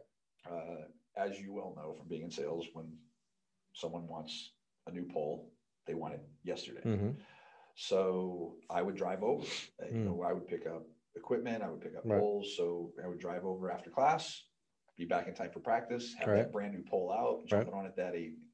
Uh, so uh, uh, that was how I got to know uh, uh, No Gill Athletics. I, I really it was Fred Dixon. So Mhm. again, I've been so lucky the people I've got gotten to uh, to meet and and establish relationships with in my life. It, Mhm. It's all. I mean, I guess you could call it dumb luck. Yeah. it's it's uh there's a plan in there somewhere. Yeah. But um, you know, I got to know Fred. Um, the Gill had created a new. Uh, this is kind of when they were first starting to pursue some some technical sales reps, people who, who had a little more knowledge uh, in individual events. And I came over to uh, pick up a pole, and I and I had just gotten uh, I have a tattoo. I have a Pacer carbon tattoo. There was no way this was gonna So so go two- on without you talking about this tattoo. two, you know, I, I believe that if you have a tattoo, it should be something that's that's unbelievably important in your life. Mhm. Uh, uh, you know, such a part of you. And, and I have a Marine Corps tattoo, and I have a Pacer carbon tattoo. Mhm. So Mhm. pole vaulting. And, And, and where does where where is my face and name tattooed? Like you said, things that are very important to you. So vaulting, the pacer, the Marine Corps, and then I, we have to keep. Okay, all right. Well, that's that's fair. That's fair. I did kind of Several of the comments just popped into my. as I said it, I was like, well, I'm really softballing this one up to a bad So- place. Yeah, yeah. Okay, let's skip that then. So you're you're getting to know Fred because you're coming over to to Yeah, uh, so- pick up poles. So they had they had come up with this position, and and uh, so I came and picked up a pole, showed Fred my tattoo, and, and we were we were just talking, and and so I get back in the car, drive home, and it, I was an assistant coach at the time, so I get back to my office, and uh, I got a voicemail, and it's Fred, and he was like, uh, he goes, oh my gosh, Bryan, he goes, sometimes the most obvious people are the last people you think of. We have this new position. Uh, uh, for tech sales, uh, you know, we want somebody that has has knowledge in in specific event areas, and obviously, you know, pole vault would be uh, right up your alley. Now, mind you, Fred was doing all the pole vault questions at the time, so Mhm. this was a little self-serving for him as well. Uh, But- Now he big time pole vaulter, two time Olympic decathlete. Uh, Dumb. uh, he's also the most humble guy you'll ever meet in your life. Uh, when it comes to pole vaulting, maybe not. so so uh, you know, I kind of quietly listened to the message, and and he asked if I want to come interview, and I, I call him immediately, and I just say, hey, you know, obviously that's a big step. Let me, uh, you know, how how long before I have to give you an answer if I want to come interview? And he was like, I'll give you the end of the week, and I think that was just like a Wednesday. So Mhm. I go home. Because this was out of left field. Like you're a coach. Oh yeah, You're like not. I, you're not in the private looking- sector. I wasn't looking for Yeah, anything. I wasn't. I didn't have a, a resume out. I Right. wasn't, you know, um, actually, I didn't even have a resume out for assistant coaching positions, which is really uncommon because every coach at every level Keep it up their resumes Mhm. somewhere. Um, so uh, I talked to the wife, and I was like, "Well, I'll. It, I think I know what it's about. Let I, I'll at least go interview." And uh, so I went over and, and did the interview, and eh, that was probably of of all of the the decisions I made in my life, like whether to go up and start my grad work at, at Central, whether to leave Central, to uh, whether to join the Marine Corps. With you know, hmm this was by far the most difficult decision I ever made. It's you know anybody that's ever left Mm. coaching uh, by their own choice. Um, it, it- it's just the kids. It's so hard to, to look Right. at this group of kids who've who've kind of chosen to to come train with you, you know, Mhm. that kind of stuff They believed Um, in you in yeah, school, and, yeah. mhm. you, you kind of walk away. And I, and I know there are some people that do it much easier than others, but I, it was really hard for me. Mhm. Um, but I, I, so the, the only thing that really made it doable was I called uh, Tom Doyle, Gary Winckler, Yeah. uh, and said, Hey, if I take this job at Gill, I would really love to still be involved in, in coaching a little bit. And Tom, I think Tom may have even cut me off mid sentence and goes, You can have the vaulters. Right, their workouts, just do everything. It's they're yours. And I was like, oh, okay. So really that if that opportunity hadn't been there, I probably wouldn't have taken the job. That kind of made it feel better. Like, okay, I may be getting out of full time coaching, but I'm still. I, I Able to coach. In my mind, it was I still had my toe in the water, Mm, right? mhm, Like I got one foot over here, Right. but if this doesn't work out, mhm, you know, mhm. this is I'm still keeping my my face in the game, so to speak. Right. You know, so So you come to Gill. Now we've talked about what you do and have done at Gill, which uh, we probably actually didn't do it very much justice. Knowing you know, ha- having worked with you for 15 years, you've done so much more uh, than some of the things we talked about. But let's talk about. So you're at Gill, but you've you have done and are doing amazing things concurrently at the same time. So you are the owner creator, uh, CEO, CFO, uh, janitor, uh, equipment manager of. I'm everything but the CFO. Oh, that's Lori. Yeah. Yeah, yeah. Okay, that's CFO. that makes so much. Sense. See, you are smart because you've made her the CFO. Very good. Uh, of a club, and it's it probably nowadays is not fair to call it a pole vault club, right? Uh, it started out as a pole vault club, PV Junkies. Right. Right. So when did you start that and and why? Why in the world does someone start a pole vault club? Well, the it's it's funny because it kind of goes back to that uh, wanting to give back kind of uh, Mm. thing that. So one of the guys I got to know pretty well, and, we were pretty good friends for a really long time. We I won't say we're estranged. We just haven't talked much lately. Uh, a guy by the name of Dwayne Broad. Um, I competed against him at state meet. Hmm. Uh, he chose to go to Indiana University when I went in the Marine Corps. But then when, when I got out of the Marine Corps and I was in Indiana State, we we kind of teamed up and we started doing these little pole vault camps. Hmm. And uh, he would he would kind of do all the paperwork side of things, and of course I was the manual labor, right? I would make sure the pits were set up and, and do the coaching and stuff. So so we we ran Hoosier pole vault camps uh, at lots of different places. Uh, still doing the state fair vault. You know, he would he and I just kind of did all these these special little pole vault things. Uh, he was even offering like private lessons and stuff in the Indianapolis area for a long time. So um, so yeah, that's that's kind of how it started. And, and I took that, and when I was still training at Indiana State, I was going out. You know, I would run my practice, coach the athletes, and then I would train. I'd be out there all by myself, Mm. and I'd have people like give me a call and say, "Hey, uh, can I just come jump with you?" And I'm like, I'm kind of lonely hmm by myself out here. Sure. And so the, like I started having these these uh, high school kids, and so it, I'd kind of heard about a club. Like clubs Mm. weren't very formalized back Yeah, then. I was gonna say, when did you start? When, when was this? Because you got here around two Not in the nineties, thousand. like in the Oh, this the is still over there. 90s Right, right, right. Okay. Haute. Yeah, that's right. You're just telling Uh, so I've got you know uh, I had one kid in particular that that you know kind of his I I really started coaching um, the one kid like so we Indiana State had pole vault camps. Mark Hollis Mm. is, is sent me a photo of him at one of the Indiana State pole vault camps. Oh, was tiny little- tiny little wow. Mark. It was kind of Oh, that's kind of fun to see. I wish I could find that photo. I know he's got it, but I, I don't know that That's cool. me to have it to share. Um, but uh, there was a, a young man by the name of Josh Despennett, and uh, Josh was a, a very talented athlete. His dad, he kind of jumped his age through about, I know, 10 years old for Hmm. sure. it might have been longer. Um, but his dad kind of came to me uh, after a little while and said, Hey, uh, I, can you help me out? I'm, he's kind of, you know, I don't know what way to go. Mhm. Like, I don't, can you help me get him to the next level and go? And, you know, over the next two or three years, uh, uh, Josh jumped 17 plus. He was the number one high school kid in the nation. Wow. You know, so that that was where I kind of realized like I could help some kids out. Mhm. And, and so we started having these little I treated it more like training groups than I did a Mhm. club. Right. Because, you know, like Well, like you the said, way I run it now, I, I coach kids. I sit on I sit over in a chair and I'm telling them what to do, right? I coach Right. them. Uh, where what I was doing then was I was writing my workouts and these kids were coming and training with me and we Mhm. were vaulting together. So like you said, you know, pole vault clubs were not what they are today No. back then. I mean, it, it's you know, pole vault clubs of it's its own industry Yeah. at this Pole point. clubs back then were the local high school coach running a club so he could train his kids on the side. Right, right. So that right. was that was pretty much what the pole vault. So- So how did you come up with the track club. name PV Junkies? Um, well, uh, I had um, I had a, I had a uh, something happen in my life that that you know had me reflect. You know, we've all made mistakes in our lives, and uh, Mhm. I had to go through some counseling where uh, they talked about addiction, um, Mhm.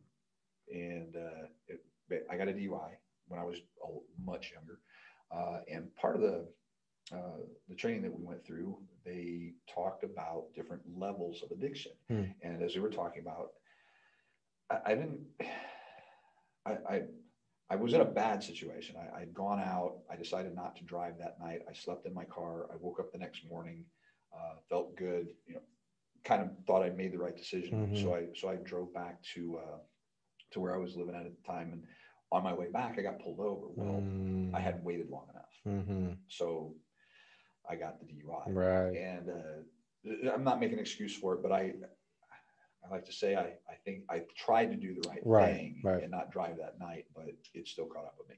So we're, we're getting these these levels of addiction, and they, the the counselor says, uh, "Is there anything else in your life that you could apply this to?" And I'm thinking to myself, well, with alcohol, I'm not you know I'm not like full fledged addicted in this tier system. I, I could probably drink less I think we could all say that at, at given times. Mhm. Um, and I said, but, but dear Lord, I am 100, I'm over the top addicted to pole vaulting. Wow. Like, do you do, you know, do you miss things? Do you do this? Do you, I'm like, I, yes, yes. right. And, and, uh, so it was, uh, kind of like, man, I need to do something with this. Hmm. So that, So junkie, uh, yeah, I mean, that that- obviously has so a when I- connotation. When I'm yeah. thinking, uh, you know, going back, um, I became pole vault junkie. Yeah. Like that, that I would, junkie's a, a harsh term. I've, I've had people, uh, um, come, you know, express their concern about the club Sure. name or, and I'm like, you, you just, like, I get it. Yeah. Uh, but and, and recently I've thought about it because you're right. I do. I have pole vault. I have high jump. I Mhm. have the throws. I've got. Mhm. Uh, I, we do some sprints and hurdles in, in the club now, and I'm, I've Hmm. actually been in some serious talks in the past two weeks about putting a long jump and triple jump pit in. Hmm. Um, so I've been thinking, is it time to change the club name? But I, I really, you know, as much uh, the few people who've given me a hard time about it, I've just resisted to say like, my first email address is pbjunkie at hotmail. Right. Like right. I, this goes back. I don't even know when Hotmail was created, but I bet it was like ten minutes after they started it. And I right. just I, I just kept that. And so it's, Yeah. that's just kind of been my thing. And I might, you know, maybe it's time for me to be PB junkie again and not a club. I don't know. We'll get there. We'll Yeah. see. Uh, what are the challenges of, of doing a again it's not a pole vault club even though pole vault may be the the passion of course but what are some of the challenges with kids and um, schools and and how you navigate all of that with with a, a USATF uh, I assume it's USATF or Yes. AAU yeah uh, club How- how- what are some of the challenges you face with that Well, you know, probably the the the biggest challenge is is the uh, the club. In Illinois, in particular, there's there's been some some tension between the high school coaches and the club coaches. Uh, uh, club coaches have been caught telling kids to skip their high school practice to come train with them, and then suddenly the kids seen at the local college running and, and when the high Mhm. school brings it. So the, the, there's a, there's a little bit of an animosity there that I, I try to be upfront with all the coaches. Like, look, I get that, you know, when these kids are in your season, I'm helping them become better for you. Hmm. I hope that they then also choose to become a part of my club and participate in the USATF events in the summer Mhm. uh, I said, but don't, you know, call me, ask questions. What I, I'm helping you. You know, they're coming to me to get better to perform. Like it's your season, not Mhm. mine. Mhm. Um, Mhm. So that's probably, you know, I I think I've I've been doing this long enough that all the coaches know that now. They, they Mhm. don't. I don't get the. Uh, I don't think I get the bad name out there that has kind of come around a few times. It, Mhm. it, it I certainly got uh, lumped in Mhm. at first with that, and and I've tried really really hard. I remember um, one of the comments that still bugs me to this day. There was somebody that made a comment when I was running practices here at Gill Mhm. behind the plant.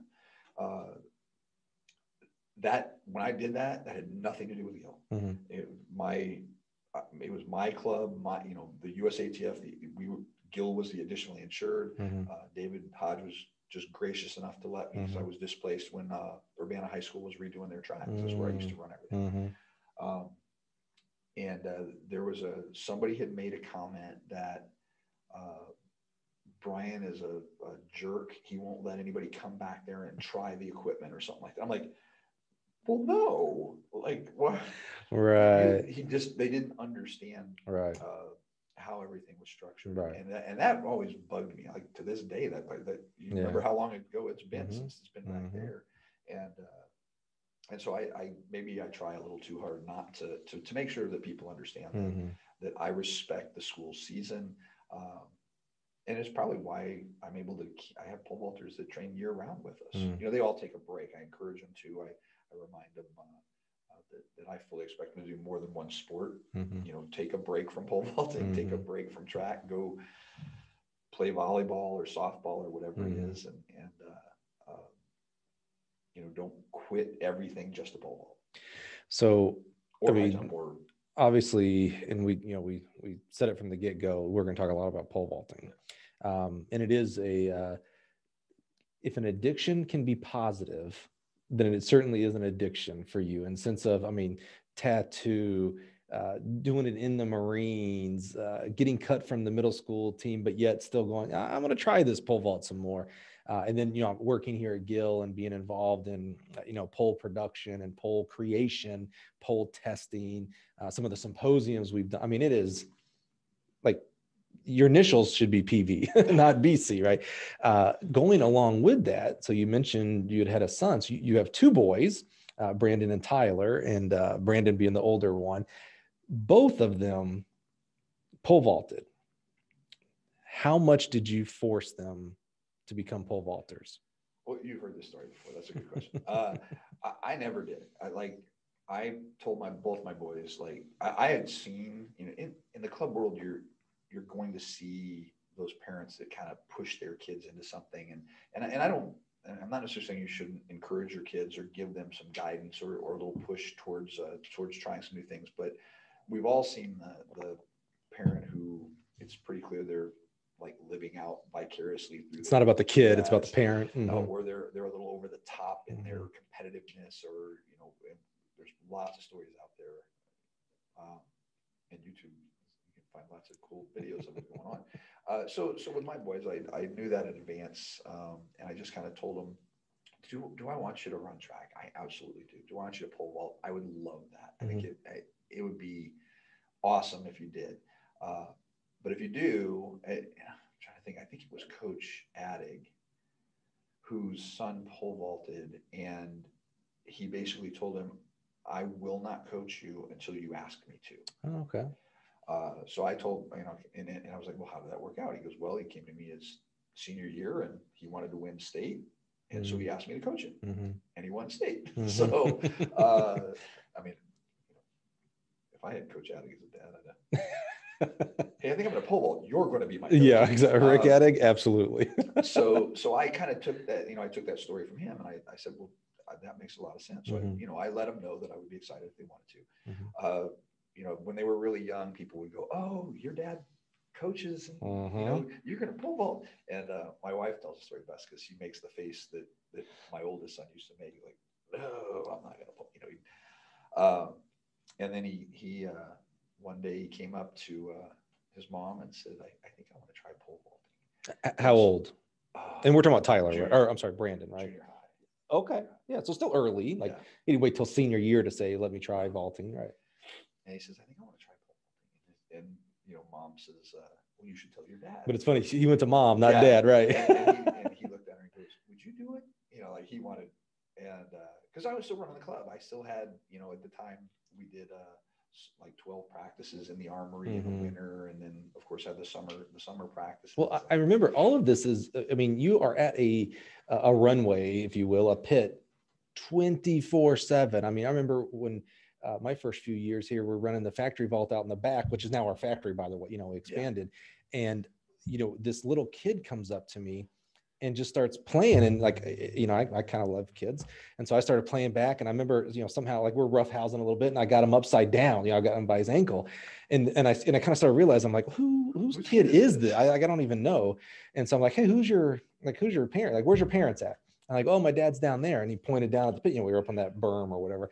And uh, and I was like, who? And this this is definitely my second year because I, I was going on a date with Amy that night, my now wife.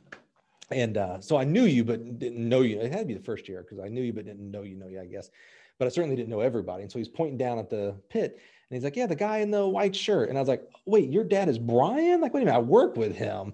Uh, and it was just so like, like that's their that was their whole life. They were always around vaulting and vaulters. So it's interesting that it, it kind of both, because like, you can you know you hear the stories and you alluded to them. You know the the kids who uh, Amando, for example, who also was around vaulting literally in the womb, right, and gravitated very well to vaulting. And then you hear of other stories of like, oh, you know, my dad's a vaulter. Well, then that's the last thing. And you, you put, put, anything in vaulter, not just vaulting, right? Uh, my dad's a, a musician. Well, I I will do everything but being a mute, you know, those kind of things. So his junior year, he finally says, oh, okay, maybe I should try this. So how, did, how did it go for him? Did he get cut his first week? No, no, no. Uh, no, it wasn't his junior year. Uh, no, no, uh, junior high. Yeah, Sorry, junior I high. missed junior high. So, so. uh, That's where I was going with the cut because of junior high. Well, you know, it's kind of the, the personality differences uh, between even your own kids. Um, you know, I, I he wanted me to coach him, uh, so I gave him that option. We he, he was a lot like me, uh, a lot more than my youngest is, and, and we mom had to step in a few times and say, you know, you guys got to quit bringing practice home. Uh, there was at one point, um, you know, anybody who's coached their own kid. Uh, it, I've been lucky enough that I kind of had the the traditional kind of um, difficulties with with coaching Brandon, but. I've been really lucky with my younger son Tyler.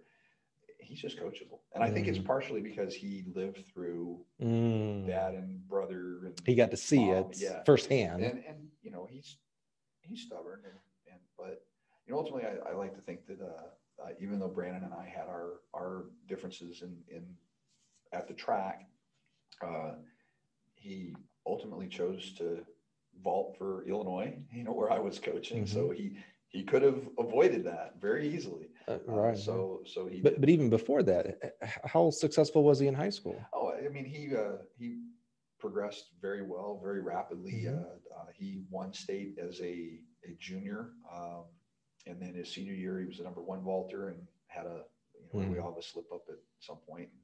Uh, didn't do so well in the finals Mhm. uh, the, his senior year, but um, uh, you know his junior year was just a, a fascinating event for us. You were kind of sitting up in the stands, keeping track of the X's and O's. Mhm. Uh, at the, the winning height, uh, he clears on, I want to say his first attempt, and there were like 12 people left in the competition. So we sat there through miss after miss after miss. I was like, all right, he's in first place. You know, there's, surely there, there's two or three kids that are going to make this, this height. And we're going to, but he got a first attempt make. Everybody missed their first attempt. He's in a great spot going to the next site. All right. because he he was jumping really close to his PR at that point when he cleared. Uh, third attempts come around, miss, miss, miss. I'm like, he's in the top eight, and you know, of course, it's it, it's a really difficult situation as a parent and as a coach to you're like, he's doing better because people are are missing. You, you Mhm. feel bad, especially sitting there in the stands Right. where you know you're around everybody else's parents. So we're we're trying to be Mhm. really reserved about our excitement about Root- what's going on. Root for Brandon, not against the other kids. Right. So, so, you know, it goes on, and he's eight, he's seventh, he's sixth, he's fifth, he's fourth, and you know, it's just like don't say anything, don't say anything. Their parents, I'm sure, grandma and grandma right Mm. behind us, probably. It's just going to happen to be that way. And uh, and sure enough, and it's it's also kind of anticlimactic because you know his big moment was 25 minutes earlier when he cleared that height, Mm. and then here we had to wait all this time. The and wait. Nobody else cleared, and that's how Right. he stayed his junior year. So you've had a lot of successes in your life, both personally and athletically. You've done some pretty cool things. What was it like coaching your son to a state title? I mean, there's not many state champions in this world, man. What was that like when when it did 25 minutes later and it was known he was the state champion? I, mean, it's it's as as exciting as you could imagine it is. I mean, Mm. it's it's just um, I, I don't. I think I would have been just as excited for him as whether I was his coach or not. I mean, Mhm. just seeing your your your child succeed. Mhm, Um, and that year, honestly, if he'd have placed in the top eight, I think I would have been just as excited. mhm, I think it was hard to really uh, process that he won. You know, Right. I was like, wait, what? like, you know, it really, it was so unexpected. And, Right. and, and again, in such a weird way, you know, for somebody who's been in the sport, you know, seeing an event end like that is just kind of like, that was a lot of misses. right, right. So, so yeah, and, and he he couldn't watch. I think the uh, when it got down to like the last three kids, he just turned his back and put his head on the fence Sure. and just waited, and, and he would hear the crowd like, oh, and he'd like, you know. I remember kind of seeing that on his face. That's the cool thing about the pole vault. You can pretty much just listen to the crowd and you'll kind of know Yeah. what's going on. Yeah. So uh, Brandon, and he goes on to uh, walk on to the U of I team, right? He Yeah. vaults there, and you're the volunteer coach there at that time. That was awesome. And how much younger your second son? So he's kind of in the in the wings back. How, how much younger is Tyler? Same, same thing. Uh, you know, there's a, a, a bit of an age difference there, but you know, Tyler was same same way. I don't want to pole vault, Mhm. and Tyler was uh, really excelling in cross country. He he, Hmm, he got that's right. Yeah. he got second at state Mhm. uh, as a, as an eighth grader, so he's almost as good as me in cross country. You- You're just holding on to that. I'm letting it go. I'm Uh, letting it go. so, uh, uh, but you know, kind of not real interested in, in pole vault. He had, you know, obviously it's hard to to be around that big fluffy pit thing and not play on Mhm, it or mhm. whatever. So, so there's certainly some video and some photos of of him. How much younger is he than Brandon? Oh, you would ask that.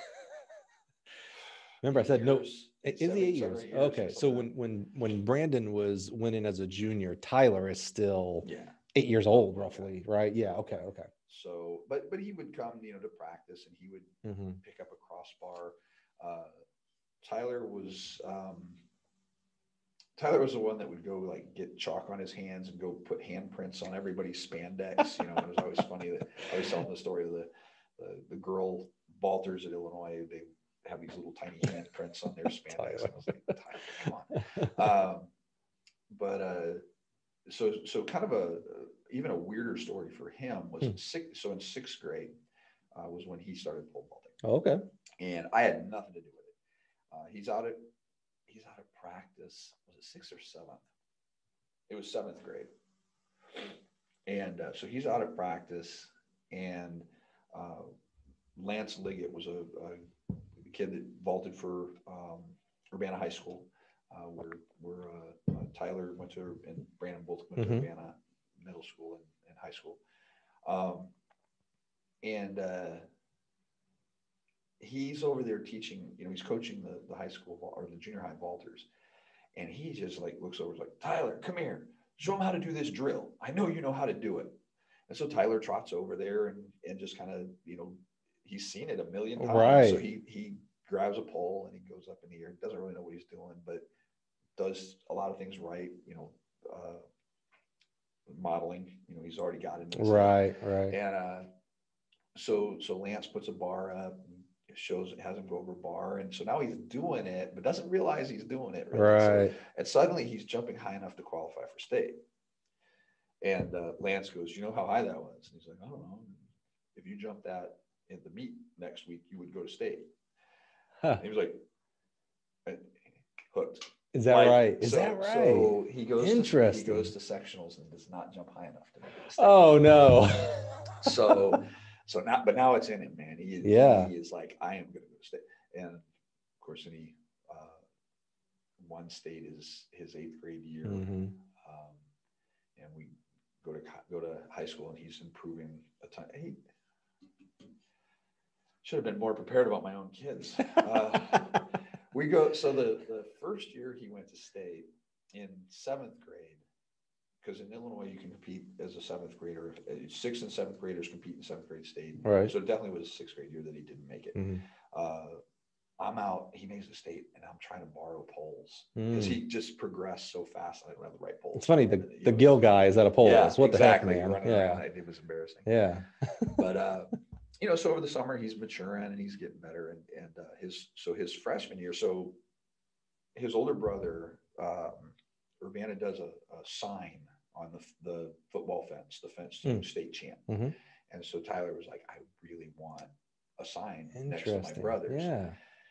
and uh, uh, so the, his freshman year he comes in and he's jumping pretty good and uh, does okay at the the indoor unofficial state Mhm. meet, the prep top times meet, and but then he he's really like he's super intense competitor. Uh, like if he's got somebody to jump with, he always jumps better. So he gets to this, he gets to the state meet. Here's this little scrawny freshman, and there's some pretty good vaulters out there. Um, and he he just kind of keeps in there. He just hangs in there with everybody. He starts PR and he's jumping. I'm like, man, he he got his first 15 foot jump at uh, uh, the uh, at Mahomet uh, in the the qualifying round, the, Mhm. the sectionals. Um, As a freshman, as a freshman, 15 feet. Yeah, and uh, so we get to state and he qualifies through I, so you you know this part because uh, when he was at state we were at the ncaa championships and I leave Yes. early and I did not go back home for the qualifying round. Uh, and you asked, "How did he do?" And I Oh, said, "He no man. heighted." I lied to you, and you felt awful or something. You know, I think can't that's that I, I like this story because it's it shows the empathet empathet emp, the pathetic no no empathet empathet empathy. the empathy side for me Okay. Yeah you you didn't go to qualifying and so the next day or next morning whatever. and I was like, hey how did hadn't qualified? I would have stayed. The right of and I really did want you to stay because we still had some work to do we were at Texas I think we were at, at UT Austin. And, the uh, vault, I was like, hey, so how did- how did Tyler do? And let me tell you what, if they would have given, uh, what do they give for actors and actresses? Oscars? Is that what they give them? If they had given an Oscar for any performance at the track meet, you would have won because you turned to me. You, you, you, you, read a person by their eyes, in your eyes. I don't know how you even kind of had like a little red. It was probably the sunburn from Yeah. being in Austin, but and you're like, yeah, he no heighted. And, and you know, I had been, and it was jokingly like, I, I don't think I ever said I hope he no heights, but I was like, man, I really want you to stay because we got to get a lot of work done, and you're the you're the hoss here, man. And you're like, yeah, he no heighted, and you know, I, I just felt terrible. Like, oh my goodness, this kid who is like killing it. You know, 15 feet as a freshman. You know, he's he's, he's he could win it, and he no heights. And I was just like, oh my god. And you turned away quickly, I did. and I was like, oh my god, Brian's devastated. And I, you know, at that point, this is 12 years of working with you. away from you for a little while. I was like, I've never seen in 12 years, I've never seen even close to this from Brian. Like, oh my God, Brian is rightfully so devastated for his son. And then you came back and you're like, man, I'm just kidding, man. I'm leaving, I'm leaving tomorrow or tonight or whatever. He, he, he made it. And I was like, you, I'm gonna say So- booger, but I'm pretty sure I did not call you No. booger that day. Yeah. So, so yeah, so I caught a, uh, uh, very, very early flight the next morning. yeah. Like a 5 a.m. at Austin. I think, Drove yeah. yeah. like a bat out Yeah. from Indianapolis Yeah. to, uh, straight to Charleston and got there just in time for warm-ups. Wow. Like, it was like to the minute, I think. and, wow. um, for the finals, and he just got in there and started, just kind of kept up with everybody and uh, equaled his PR at 15 feet. Um, and I, I'm, man, I'd have to go back to the X's and O's to be sure, but uh, there were two guys that, that definitely had better PRs than him, and then they both went out, and then he, and so like he, he probably wasn't favored to win. Mhm. Like everybody knew that he was coming on, and he was Mhm. going to probably, you know, be somebody to keep an eye on for the next few years. And uh, but then uh, the he jumped 15-6. Uh, and then the so the school record was 15-9. So we went to Was it Brandon's? no. Oh, Brandon There, school record. Okay. Okay. uh, previous that Brandon Alright. was really close to setting the school record, Mhm. just never quite got Mhm. there. Um, he, his senior year, he probably could have Mm, no height at state. mhm. That was he. That was really where we, he was right. Um, and uh, so he, I was like, well, so kind of the the the peak of uh, of a pole vault competition is if if you out jump everybody, and you're really you know you kind of know you're you've used a lot of jumps and Mhm. and you're you're but you're going to finish out this last height, but you're not going to go any further. Right. And so like the the the pinnacle of vaulting is to end on a make. You Right. almost always end on three misses. Right. That's just the way it is. Yep. Well, bar put the bar up at 15, 10, and I tell him, I said, hey, you've taken quite a few jumps. Your, you know, your energy level is there. You make this, you're done. Yeah. School Quit. record. Yeah. Just, Yeah. You make this, quit. And uh, uh, we had actually chosen a height that was a school record, and it was going to be the best vault by a freshman in the nation that year. Oh, like, nice. Looking it up, Yeah. and uh, sure enough, he he clears it. Uh, does his little backflip on the pit with- that grandma loves to see. And he looks down at uh, uh, the official and just says, I'm, I'm done. Awesome. Because the official was like, what do you want to go yeah. What's He's next? like, right. I'm done. Wow. And uh, he got to end on a make. wow. Uh, and of course, the sad side of, the, of all this, as you know, is, is uh, uh, later that year, he came down with mono, uh, Mm, missed his entire that's sophomore right, year, missed that's his right. entire junior year. Uh, this, the mono was away, but yeah. he ended up, ended up finding out he had a, a narrow airway. Hmm. Um, and so he had sleep apnea. So for his 18th birthday, he literally got a CPAP. Happy on on birthday. birthday. Uh, and then, of course, uh, last year was his senior year. Yeah. back, ready to you know book in. Uh, we were talking about book in Mhm, state champs. Mhm. Uh, Yeah, course- freshman, senior. Yeah, yeah. And of course, Corona took All that season right. away. and, Oh man. uh, but he's continued to train and jump, and he's he's now a, a, a 17 foot vaulter. Wow. And uh, we take we took a gap year. Um, really scary decision. You know, anytime you hear a kid say, "I'm going to take a year off," Yeah. go to college. How often do they go? Right. Of course, there wasn't a worldwide pandemic they chose to do Yeah. it. Little extenuating you know, circumstances. So, yeah. so uh, he's very excited. We were, we're talking to a, a handful of schools. In fact, uh, one of the missed calls I had a few minutes ago was one of the colleges we've been. oh yeah. Um, and uh, So he's going through like a recruiting year. Yeah. Getting ready for next year. No more. No two gap years. Right. Just one gap year. yeah, so so as as uh, yeah, definitely not. It's not gonna go to school. um, but you know, as a as somebody who's coached and recruited and stuff, the the last year was really really odd. I, I've Mm. actually called several coaches and going, you know, what the heck? hmm like you can't have any in-person visits, but you can make phone calls. I don't know how you guys aren't like burning up the phone right Mhm. now. And I just think it's it, it it's nobody was used to how recruiting has to be done right now. Right. Because now this year it, it's you know Picked up. I'm, I'm talking to kids. We had a good a, a good female vaulter that um, is a senior this year, and, and of course as a junior wasn't getting a lot of calls and stuff. I was like, hmm I would be burning the phones Right. up Right. like just calling everybody because it's the, the only way anybody can make can establish that that recruiting relationship is over the phone right, Right. now and uh, it just wasn't happening and, and some of it um, you know a lot of i, I know tyler uh, a lot of people thought tyler was just going to come to illinois Mhm. uh, but I, I don't coach for illinois as of this year so Mhm. um, it's it's picked up since the word about that has gotten out because they just thought no matter what why would i call Mhm. him he's going Right. to go to illinois no matter what Is there any shot Tyler could go to the greatest university in the world, Troy University? No. None. You know, actually it's probably no. that's uh as a diehard Troy guy, that hurts a little bit to be real honest with you. But but I completely understand. A couple of episodes ago, we had uh, Duane Ross from NCA&T on the show, and he also coaches.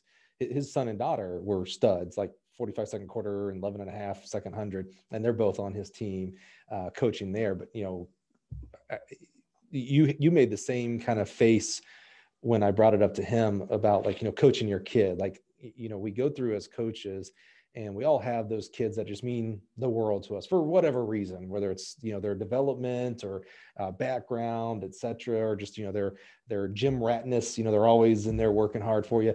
But to coach your kids, like I can't even. You know, I'm, I'm the father of a ten and a seven, so I can't even fathom because I certainly am not coaching t-ball and kid soccer and all that. Uh, probably be as good as some of the coaches I've seen. oh man, yeah. I, I'm still wondering if you know one of my two kids decides to do track uh, in high school and stuff, and I'm the dad in the in the stands. You know, because I, you know, quite like you, you know, I coached at a pretty high level. It's like, can I be the dad that just just shuts up and lets them do, or am I going to be the guy going, "Hey, man, uh, you, you know what you need to be doing here? You got to be doing X, Y, and Z." I don't, I don't know what kind of track dad I'm going to be just yet. Well, I, you know, there, I have learned to, in the pole community, it's, it's not uncommon to go to a meet and there'll be, you know, one or two guys there that just start, they just step in and coach everybody. Mhm. Uh, at the college level, that has happened, but I think those people, like, to a certain degree, you got to mind your own business. Sure. too. So, so as much as you want to, sometimes you just step back, unless it's something really, really Yeah, egregious, safety like, egregious, right, right, safety yeah, yeah, or, yeah. Or you just know that if if they continue down that path, that Right. uh, they're just going to keep getting kids injured. Mhm. You know that Mhm. I, I think that's that's where I kind of drew the line. Yeah. I, you, just go to meets and you just see. I'm one of those people that I, I would step in and, and Mhm. coach anybody, but I learned early on um, that I, I wait to make sure like they don't have somebody coaching. them. Mhm. And uh, I, I've learned to just kind of first ask, like, Mhm. hey, uh, I notice you don't have your coach here. If if I Mhm. could, you know, if you don't if you don't mind, I, I'd be happy to Right. catch your step or give you a few pointers or whatever. And they're usually, like, Right. oh my gosh, that would be awesome. you know, and- or or you learn like, oh yeah, my coach is over getting a hot dog right now. He'll be, getting, oh okay, good luck to you today. You know, Yeah. you just kind of learn where to where to back off because, you know, I I had been the guy that um, maybe stepped on a toe or 2 Mhm. at a meet when I was younger, and and uh, that's never fun either. Yeah. you, it- I know I know those guys have the best of intentions, Mhm. Um, but you know just what you see in that one 30 minute period may not have anything to do with what that athlete and coach Right. team have been working on for months Right. you know that that's just a very small snapshot of what's going on just it doesn't hurt to mind your own business sometimes I bring it up quite often, but when we had Brooks Johnson on the podcast last year, you know, one of the many things that he said that stuck with me was if you're not in the huddle, you don't know the play. and it just always stuck with me like, oh, you know what? Outside looking in, I don't know what's going on with that kid in his life or that coach and what they're working on. You know, it's uh, there's so much more going on than what you're seeing in that snapshot, like you put it. That was a good way of putting it. Well, man, Brian, dude, uh, we could do this for a few hours. You know that because there's a lot. uh, First of all, you're welcome, listener. There are a lot of inside jokes we just did not go into. Thank goodness. Probably more for me. You know, you've you've got to deal with me every week uh, on the podcast. I don't want you thinking poorly of me and some of the stories that Brian has uh, on me. He, he he lords them over me. But uh, honestly, Brian, you know, this is exciting uh, to be able to have you on the on the show because you know a lot of times we focus on the athletes, rightfully so. They're doing uh, you know some amazing amazing performances out there, or you know what we really like to focus on here at Gills, the coaches, and you know we see the uh, the guys and gals that are out there that are getting it done at the national meets and conference meets. I'm always interested in these kind of behind the scenes folks right? Um, we had Stephen Madrid, you know, he's a friend of ours at the Albuquerque Convention Center. We had him on early in the, in the show. So awesome to, to be able to highlight and um, uh, honor the things that he does for our sport that no one, no one really knows. You don't see a Stephen Madrid. So a guy like you, you know, and, and you're a little bit more public facing in the sense of, you know, coaching and things like that. And obviously having, uh, you know, two great kids that are, you know, college bound and things like that. But to know the impact that you have made in in the sport of track and field, uh, and even more specifically the event of, of pole vaulting. But um, you know, it, it's it's a little known fact of most people will never know just how much you have affected this sport in positive ways, man. So it's just it's just so cool to to be able to share your journey. well you know i'm thinking about uh, coming into this interview and, and just so everybody knows you didn't give me the questions in advance or Mhm. anything this is all you know totally straight off the hip uh, you know, i kind of expected like who are your mentors Mhm. kind of the, the general stuff and um, you know the my mentors in track and field or in pole vault in particular uh, joe dial Mm-hmm. Awesome. Joe. Love him. Uh, uh, really kind of taught me the um, that there's more than one way to to Mm-hmm. coach an event. Like uh, you, know, you get some people that get very locked in and into their ways, and they don't they don't identify the individual strengths and, and play to those. And I think Joe does a great job of that.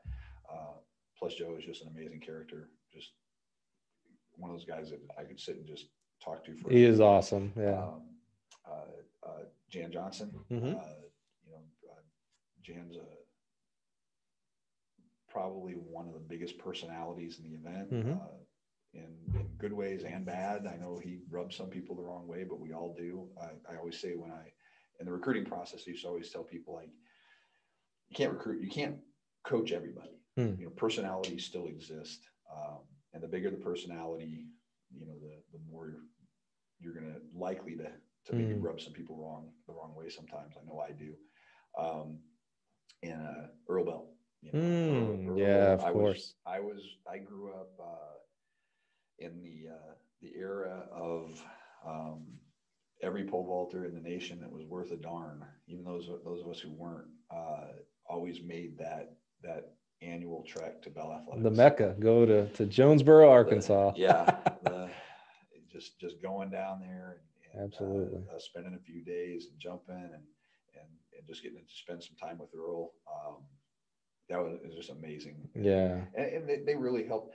I mean, I had some huge influences on my on my coaching personality and in some of the you know again being with John and John and then coming over and, and working with Gary and Gary Mm. Wieneke and Gary Winckler. Mhm. Uh, those four right there yeah. to be able to, to be one of, I think I'm the only coach that, that was under all four of them. Oh, right. You know, over the over the years, uh, what is just I, I can imagine a, a better mentors in my career. Now, you mentioned uh, Madrid from Albuquerque. We have to make sure that everybody knows if they want the best burger. Right. Yeah. There's Now we're in the portion of the show where we do go through all the uh, inside, uh, not not jokes. This isn't a joke. There's This a- is the one of the best places in Albuquerque. We're we're going back right in 23 or 24. yeah. Albuquerque's hosting again. So when you're there, But this is also embarrassing to admit to that we just discovered that the reason that bar is named what it is was the last time we were there. yeah, what even was we that? Gone. The the person the the Oh, they were from Illinois. Effingham, Illinois. Yes. So the, the name of the, the restaurant is the Effing Burger. And we had gone there every time we've been to Absolutely. Best burger for in New. Mexico. Uh, and uh, ama- uh, just amazing food. And the place got better every time we went. Yeah, They would Great service. Yeah, everything. uh, and the last time we went, we're sitting there reading the menu, only to read that, that the person who founded the bar, the reason it's called the effing burger wasn't what we thought. yeah, we thought Shame- effing shame on us. freaking burger. Right, right, right. They were from Effingham, Like- Illinois. like when we like that's how we and I say we, you picked it. We were like, where are we going to dinner? And you're like, hey man, let's let's find something local. you're like, I found I found this place and it's got the greatest name in the world, so we have to go. And I was like, all right, what's it called? And he's like, you know, it's the effing burger. And I was like, ah, freaking burger. All right, whatever. Well, let's go. And it was good. And then yeah, years later, like six, seven, eight years later, still we're going back. finally reading the story. Yeah. And it's a guy in Effingham, which is what hour down the road. Yeah. Yeah, because. Charleston's 45. I was going to say 45, but yeah, an hour down the road. That's where the, the guy who created our favorite burger joint in New Mexico for sure. effing burger, some effing fries, and an effing beer. All right. So if anybody, that's right. If anybody's still listening, I have to get Brian to tell this story.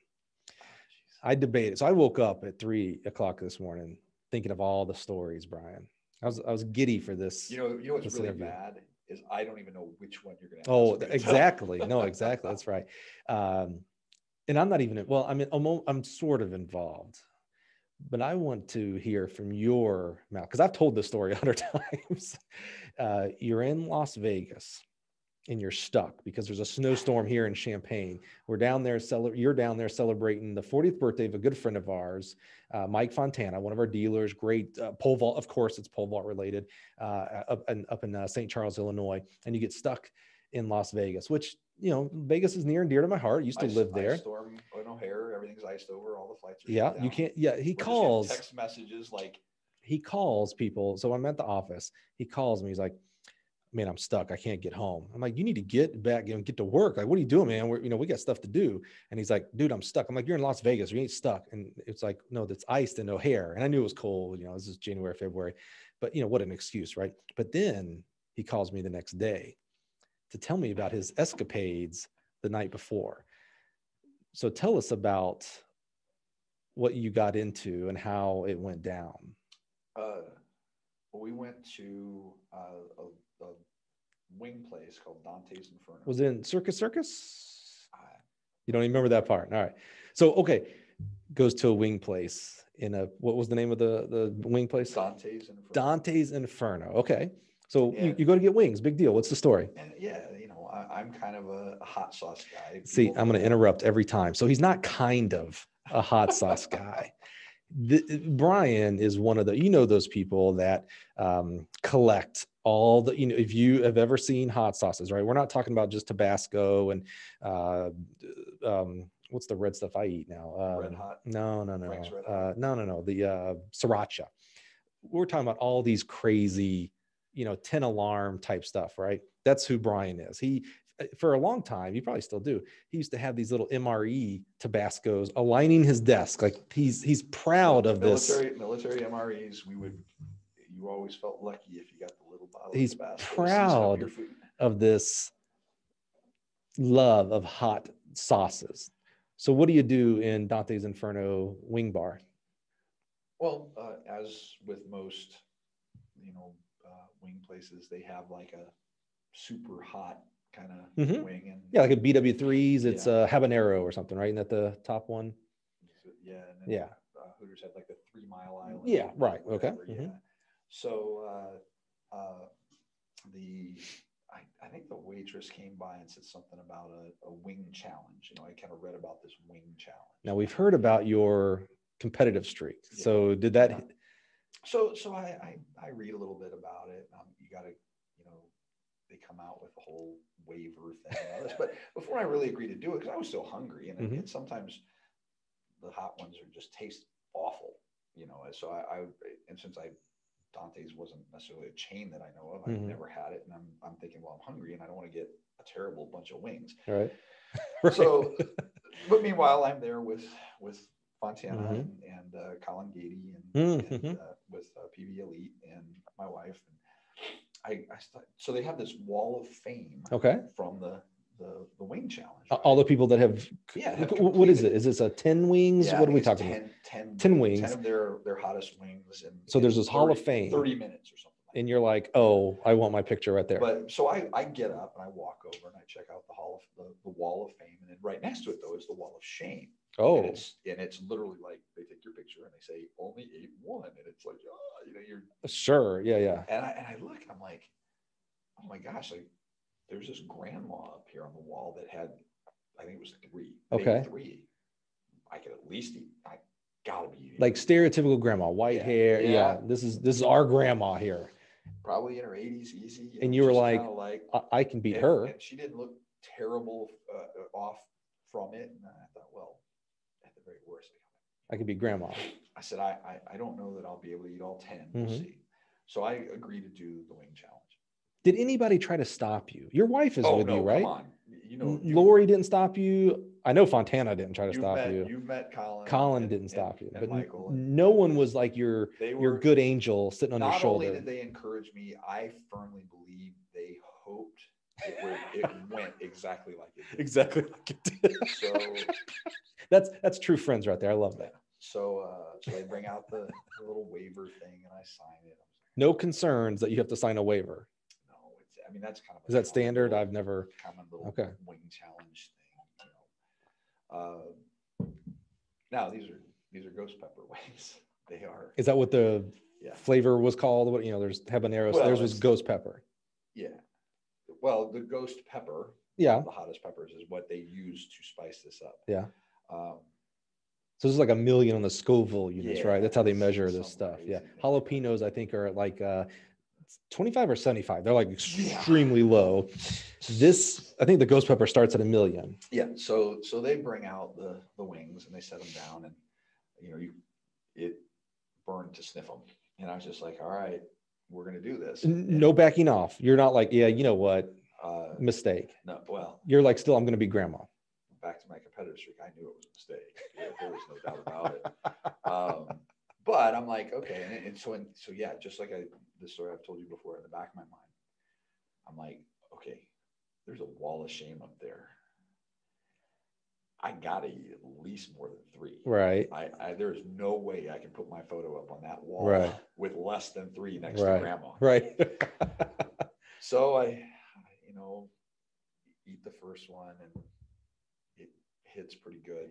Instant regret Oh, when you yeah. bu- when first bite. You're like, oh, snap. I, I, not first bite. It, Okay. The the ghost pepper stuff, you know, you know it's hot, Mhm. but it just kind of keeps going. Okay. It keeps going and pretty much doesn't stop. It, it- uh, and so I'm just like, now I'm, I finished the first one. I'm like, oh, Are you this is crying? terrible. Not yet. The second one. Did you make the mistake and rub your Yeah, eyes? the second one. I'm Okay. like, because now I'm starting to sweat a little bit. and I try Oh, to- yeah, I the try s- to oh, and Of course, no. now I've got now I can't see, and I, you know, and I know the time's going, and I'm like, oh my god, I haven't How finished the second one yet. Loud is Fontana and Lori and Colin's laugh. Well, you know, during the second one, they were laughing pretty good. Uh, as I start trying to choke down the third one, Concern. uh, they, they were like, "You really don't have to." do Yeah. this." Like, let's be let's talk him off the ledge. Like you didn't see grandma up there.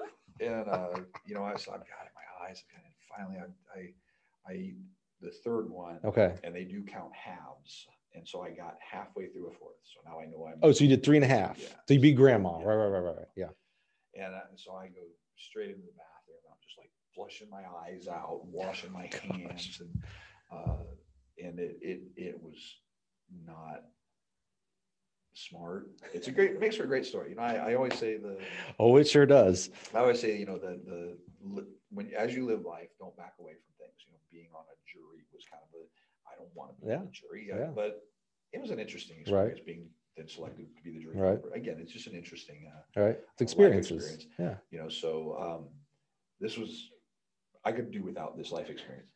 Uh, was about to say, there's gotta be some. later on when. Let's keep it I PG. Yeah, yeah, yeah, yeah. Started to kick in, it was, whew. I- I- So- I really should have just thrown up. The next day, It was that bad. the next day you call me. It actually it might have been a day after that because you had some recovery Yeah. time. And yeah, you're telling me this, and you're like, Mike, these things were the hottest thing in the whole world. And I was like, Well, Bryan, it's a challenge. Like, I mean, I you had to know that. And you're like, it was ghost pepper, Mike. Like that's what they use in police grade. Um, It, it was actually, hi- I- I- yeah, you're right. The, the, the way I described it to you is, uh, if I had seasoned the wings with police grade pepper spray, like riot control pepper spray, Right. it would have been less, less. than what I actually ate. So yeah, I do, I do remember using that analogy. or It was comparison in my awesome, man. It was awesome. And then I was like, all right, that's awesome. Now get back to work, man. We're busy. Let's let's get to it. Hey, speaking of busy, we got to go. Yep. Uh, this has been a riot, man. I'm so thankful that we are able to sit down and do this. Honestly, uh, uh, you know, we've been teammates my whole time. I, you know, I'm going on my 15th year. I'm still a young buck compared to you. Uh, I have not gotten my 15 year plaque nor my 20 like you. So I'm I'm a rookie essentially.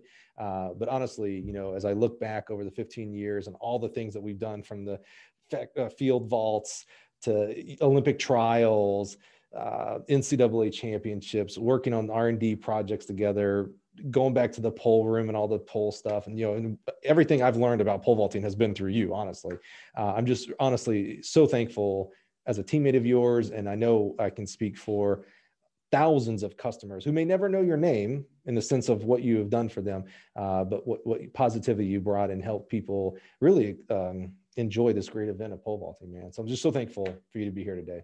And we've never even shared the story about uh, pickup truck karaoke driving to Folsom Prison.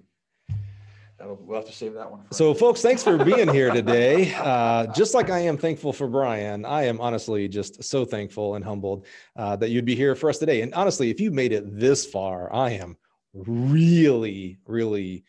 Uh, well, I'm just kind of wondering what what do you have to do during the day if you're still with us today? You should you should cut this off like 30 minutes ago, I think. But uh, just so thankful uh, that Bryan would be here to stay, be with us here today, and honestly, just being so humble and authentic. Uh, it's exactly what I'd expect from from my teammate. To be real real frank with you. Uh, so thankful for him for being here and thankful for you. If you found value in today's episode, uh, it's probably uh, a good bet that someone else would find value in it. So if you would uh, consider sharing this on Facebook, Twitter, TikTok, smoke signals, whatever you use out there, uh, it would just mean the world to us to help uh, bring value to others out there. And you know what? We're going to do this all over again next week. So join us. Make sure you're subscribed so you're the first one to know about the episodes. And let's let's go back and have some fun. So have a great day and thanks again for for being here.